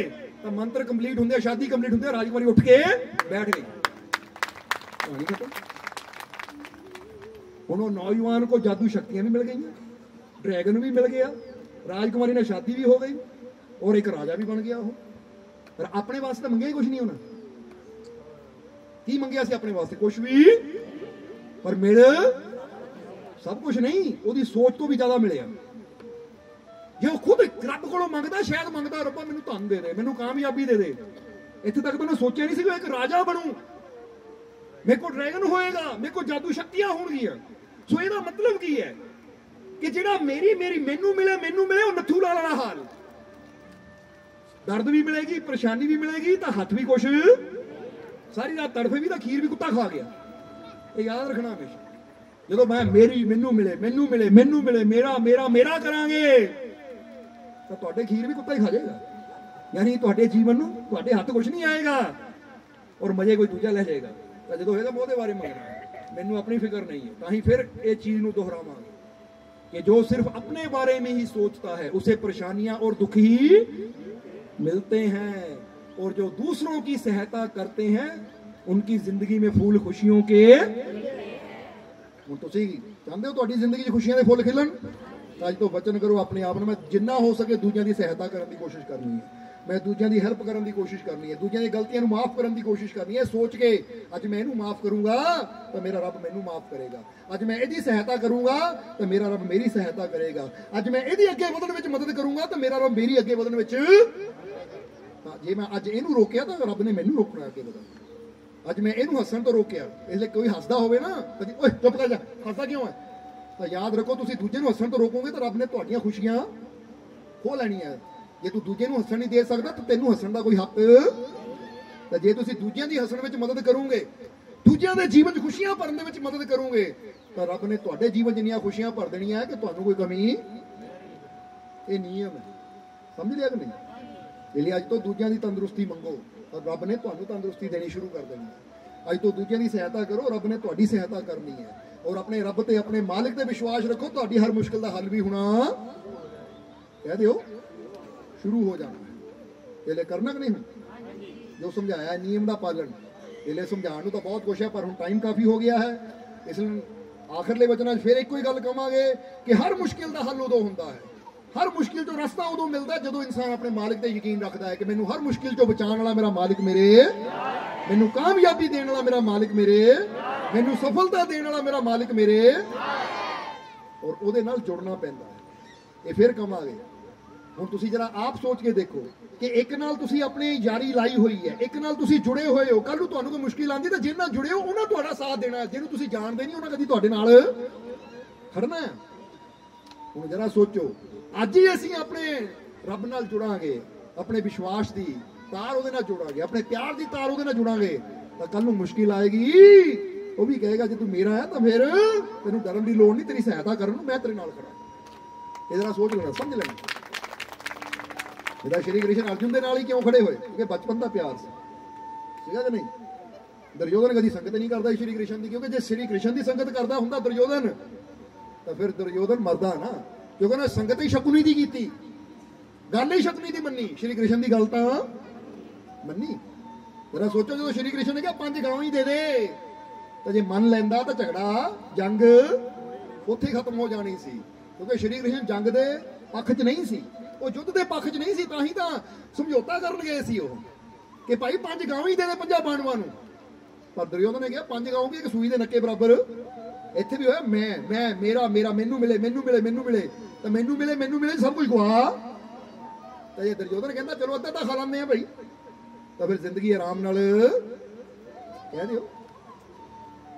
ਹੁਣ ਜਰਾ ਆਪ ਸੋਚ ਕੇ ਦੇਖਣਾ, ਕਦੀ ਸੋਚ ਕੇ ਦੇਖਿਓ ਕਿ ਦੁਰਯੋਧਨ ਸ਼ਕਨੀ ਦੀ ਗੱਲ ਮੰਨਣ ਦੀ ਬਜਾਏ ਸ਼੍ਰੀ ਕ੍ਰਿਸ਼ਨ ਦੀ ਗੱਲ ਮੰਨਦਾ ਤਾਂ ਜ਼ਿੰਦਗੀ ਬਚਣੀ ਸੀ, ਤਾਂ ਰਾਜ ਵੀ ਉਹਦੇ ਕੋਲ ਰਹਿਣਾ ਸੀ।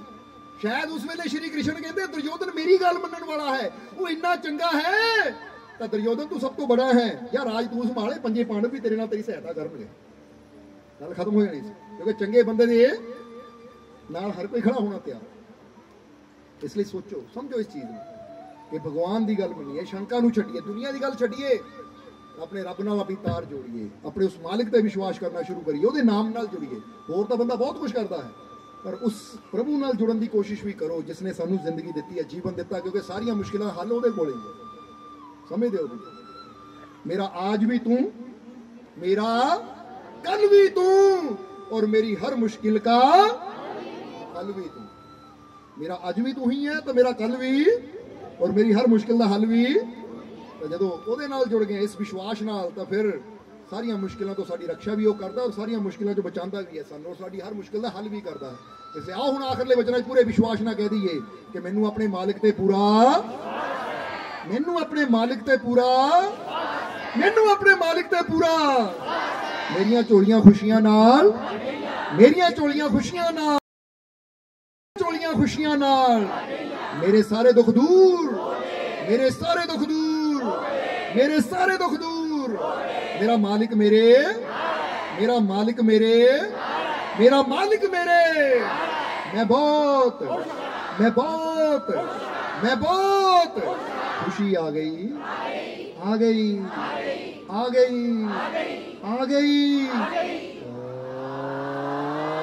ਆ ਗਈ ਤਾਂ ਫੀਲ ਕਰੋ ਆ ਰਹੀ ਹੈ ਖੁਸ਼ੀ ਅਗਰ ਫੀਲ ਕਰੋਗੇ ਤਾਂ ਖੁਸ਼ੀਆਂ ਹੀ ਆਣਗੀਆਂ ਕਿਉਂਕਿ ਉਹਦੇ ਘਰ 'ਚ ਹੈ ਹੀ ਖੁਸ਼ੀਆਂ ਤਾਂ ਹੁਣ ਇਹਨਾਂ ਵਚਨਾਂ ਦੇ ਨਾਲ ਹੀ ਅਸੀਂ ਅੱਜ ਦੇ ਸਤਸੰਗ ਦੀ ਸਮਾਪਤੀ ਕਰਾਂਗੇ। ਔਰ ਅੰਤ ਵਿੱਚ ਇਹੀ ਉਸ ਮਾਲਕ ਦੇ ਚਰਨਾਂ 'ਚ ਅਰਦਾਸ ਬੇਨਤੀ ਕਰਾਂਗੇ ਕਿ ਮਾਲਕ ਤੁਹਾਨੂੰ ਸਭ ਨੂੰ ਨਾਮ ਨਾਲ ਜੁੜਨ ਦੀ ਤਾਕਤ ਦੇਣ, ਨਾਮ ਜਪਣ ਦੀ ਤਾਕਤ ਦੇਣ, ਸੇਵਾ ਸਿਮਰਨ ਕਰਨ ਦਾ, ਨੇਕ ਮਾਰਗ ਤੇ ਚੱਲਣ ਦਾ ਬਲ ਬਖਸ਼ਣ, ਹਰ ਤਕਲੀਫ, ਹਰ ਦੁੱਖ ਨੂੰ ਦੂਰ ਕਰਨ ਔਰ ਤੁਹਾਡੀ ਜ਼ਿੰਦਗੀ ਸਦਾ ਖੁਸ਼ੀਆਂ ਨਾਲ ਆਨੰਦ ਨਾਲ ਭਰਪੂਰ ਰਵੇ, ਤੁਹਾਡੇ ਅੰਦਰ ਪਿਆਰ, ਵਿਸ਼ਵਾਸ ਵੱਧਦਾ ਚਲਾ ਜਾਵੇ ਤਾਂ ਕਿ ਤੁਸੀਂ ਇਹ ਜੀਵਨ ਦਾ ਪੂਰਾ ਪੂਰਾ ਆਨੰਦ ਲੈ ਸਕੋ ਔਰ ਸਦਾ ਮਾਲਕ ਆਪਣੀ ਕਿਰਪਾ ਦਿਆ ਮਿਹਰ ਤੁਹਾਡੇ ਤੇ ਬਣਾਏ ਰੱਖਣ। ਇਹੀ ਸਾਡੀ ਉਸ ਮਾਲਕ ਦੇ ਚਰਨਾਂ 'ਚ ਅਰਦਾਸ ਬੇਨਤੀ ਹੈ ਔਰ ਅੰਤ ਵਿੱਚ ਤੁਹਾਡੇ ਸਭ ਦੇ ਅੰਦਰ ਵਸਦੇ ਉਸ ਮਾਲਕ ਨੂੰ ਅਸੀਂ ਪ੍ਰਣਾਮ ਕਰਦੇ ਹਾਂ। ਸਾਡਾ ਪ੍ਰਣਾਮ ਸਵੀਕਾਰ ਕਰੋ। ਜੈ ਮਾਲਕਾ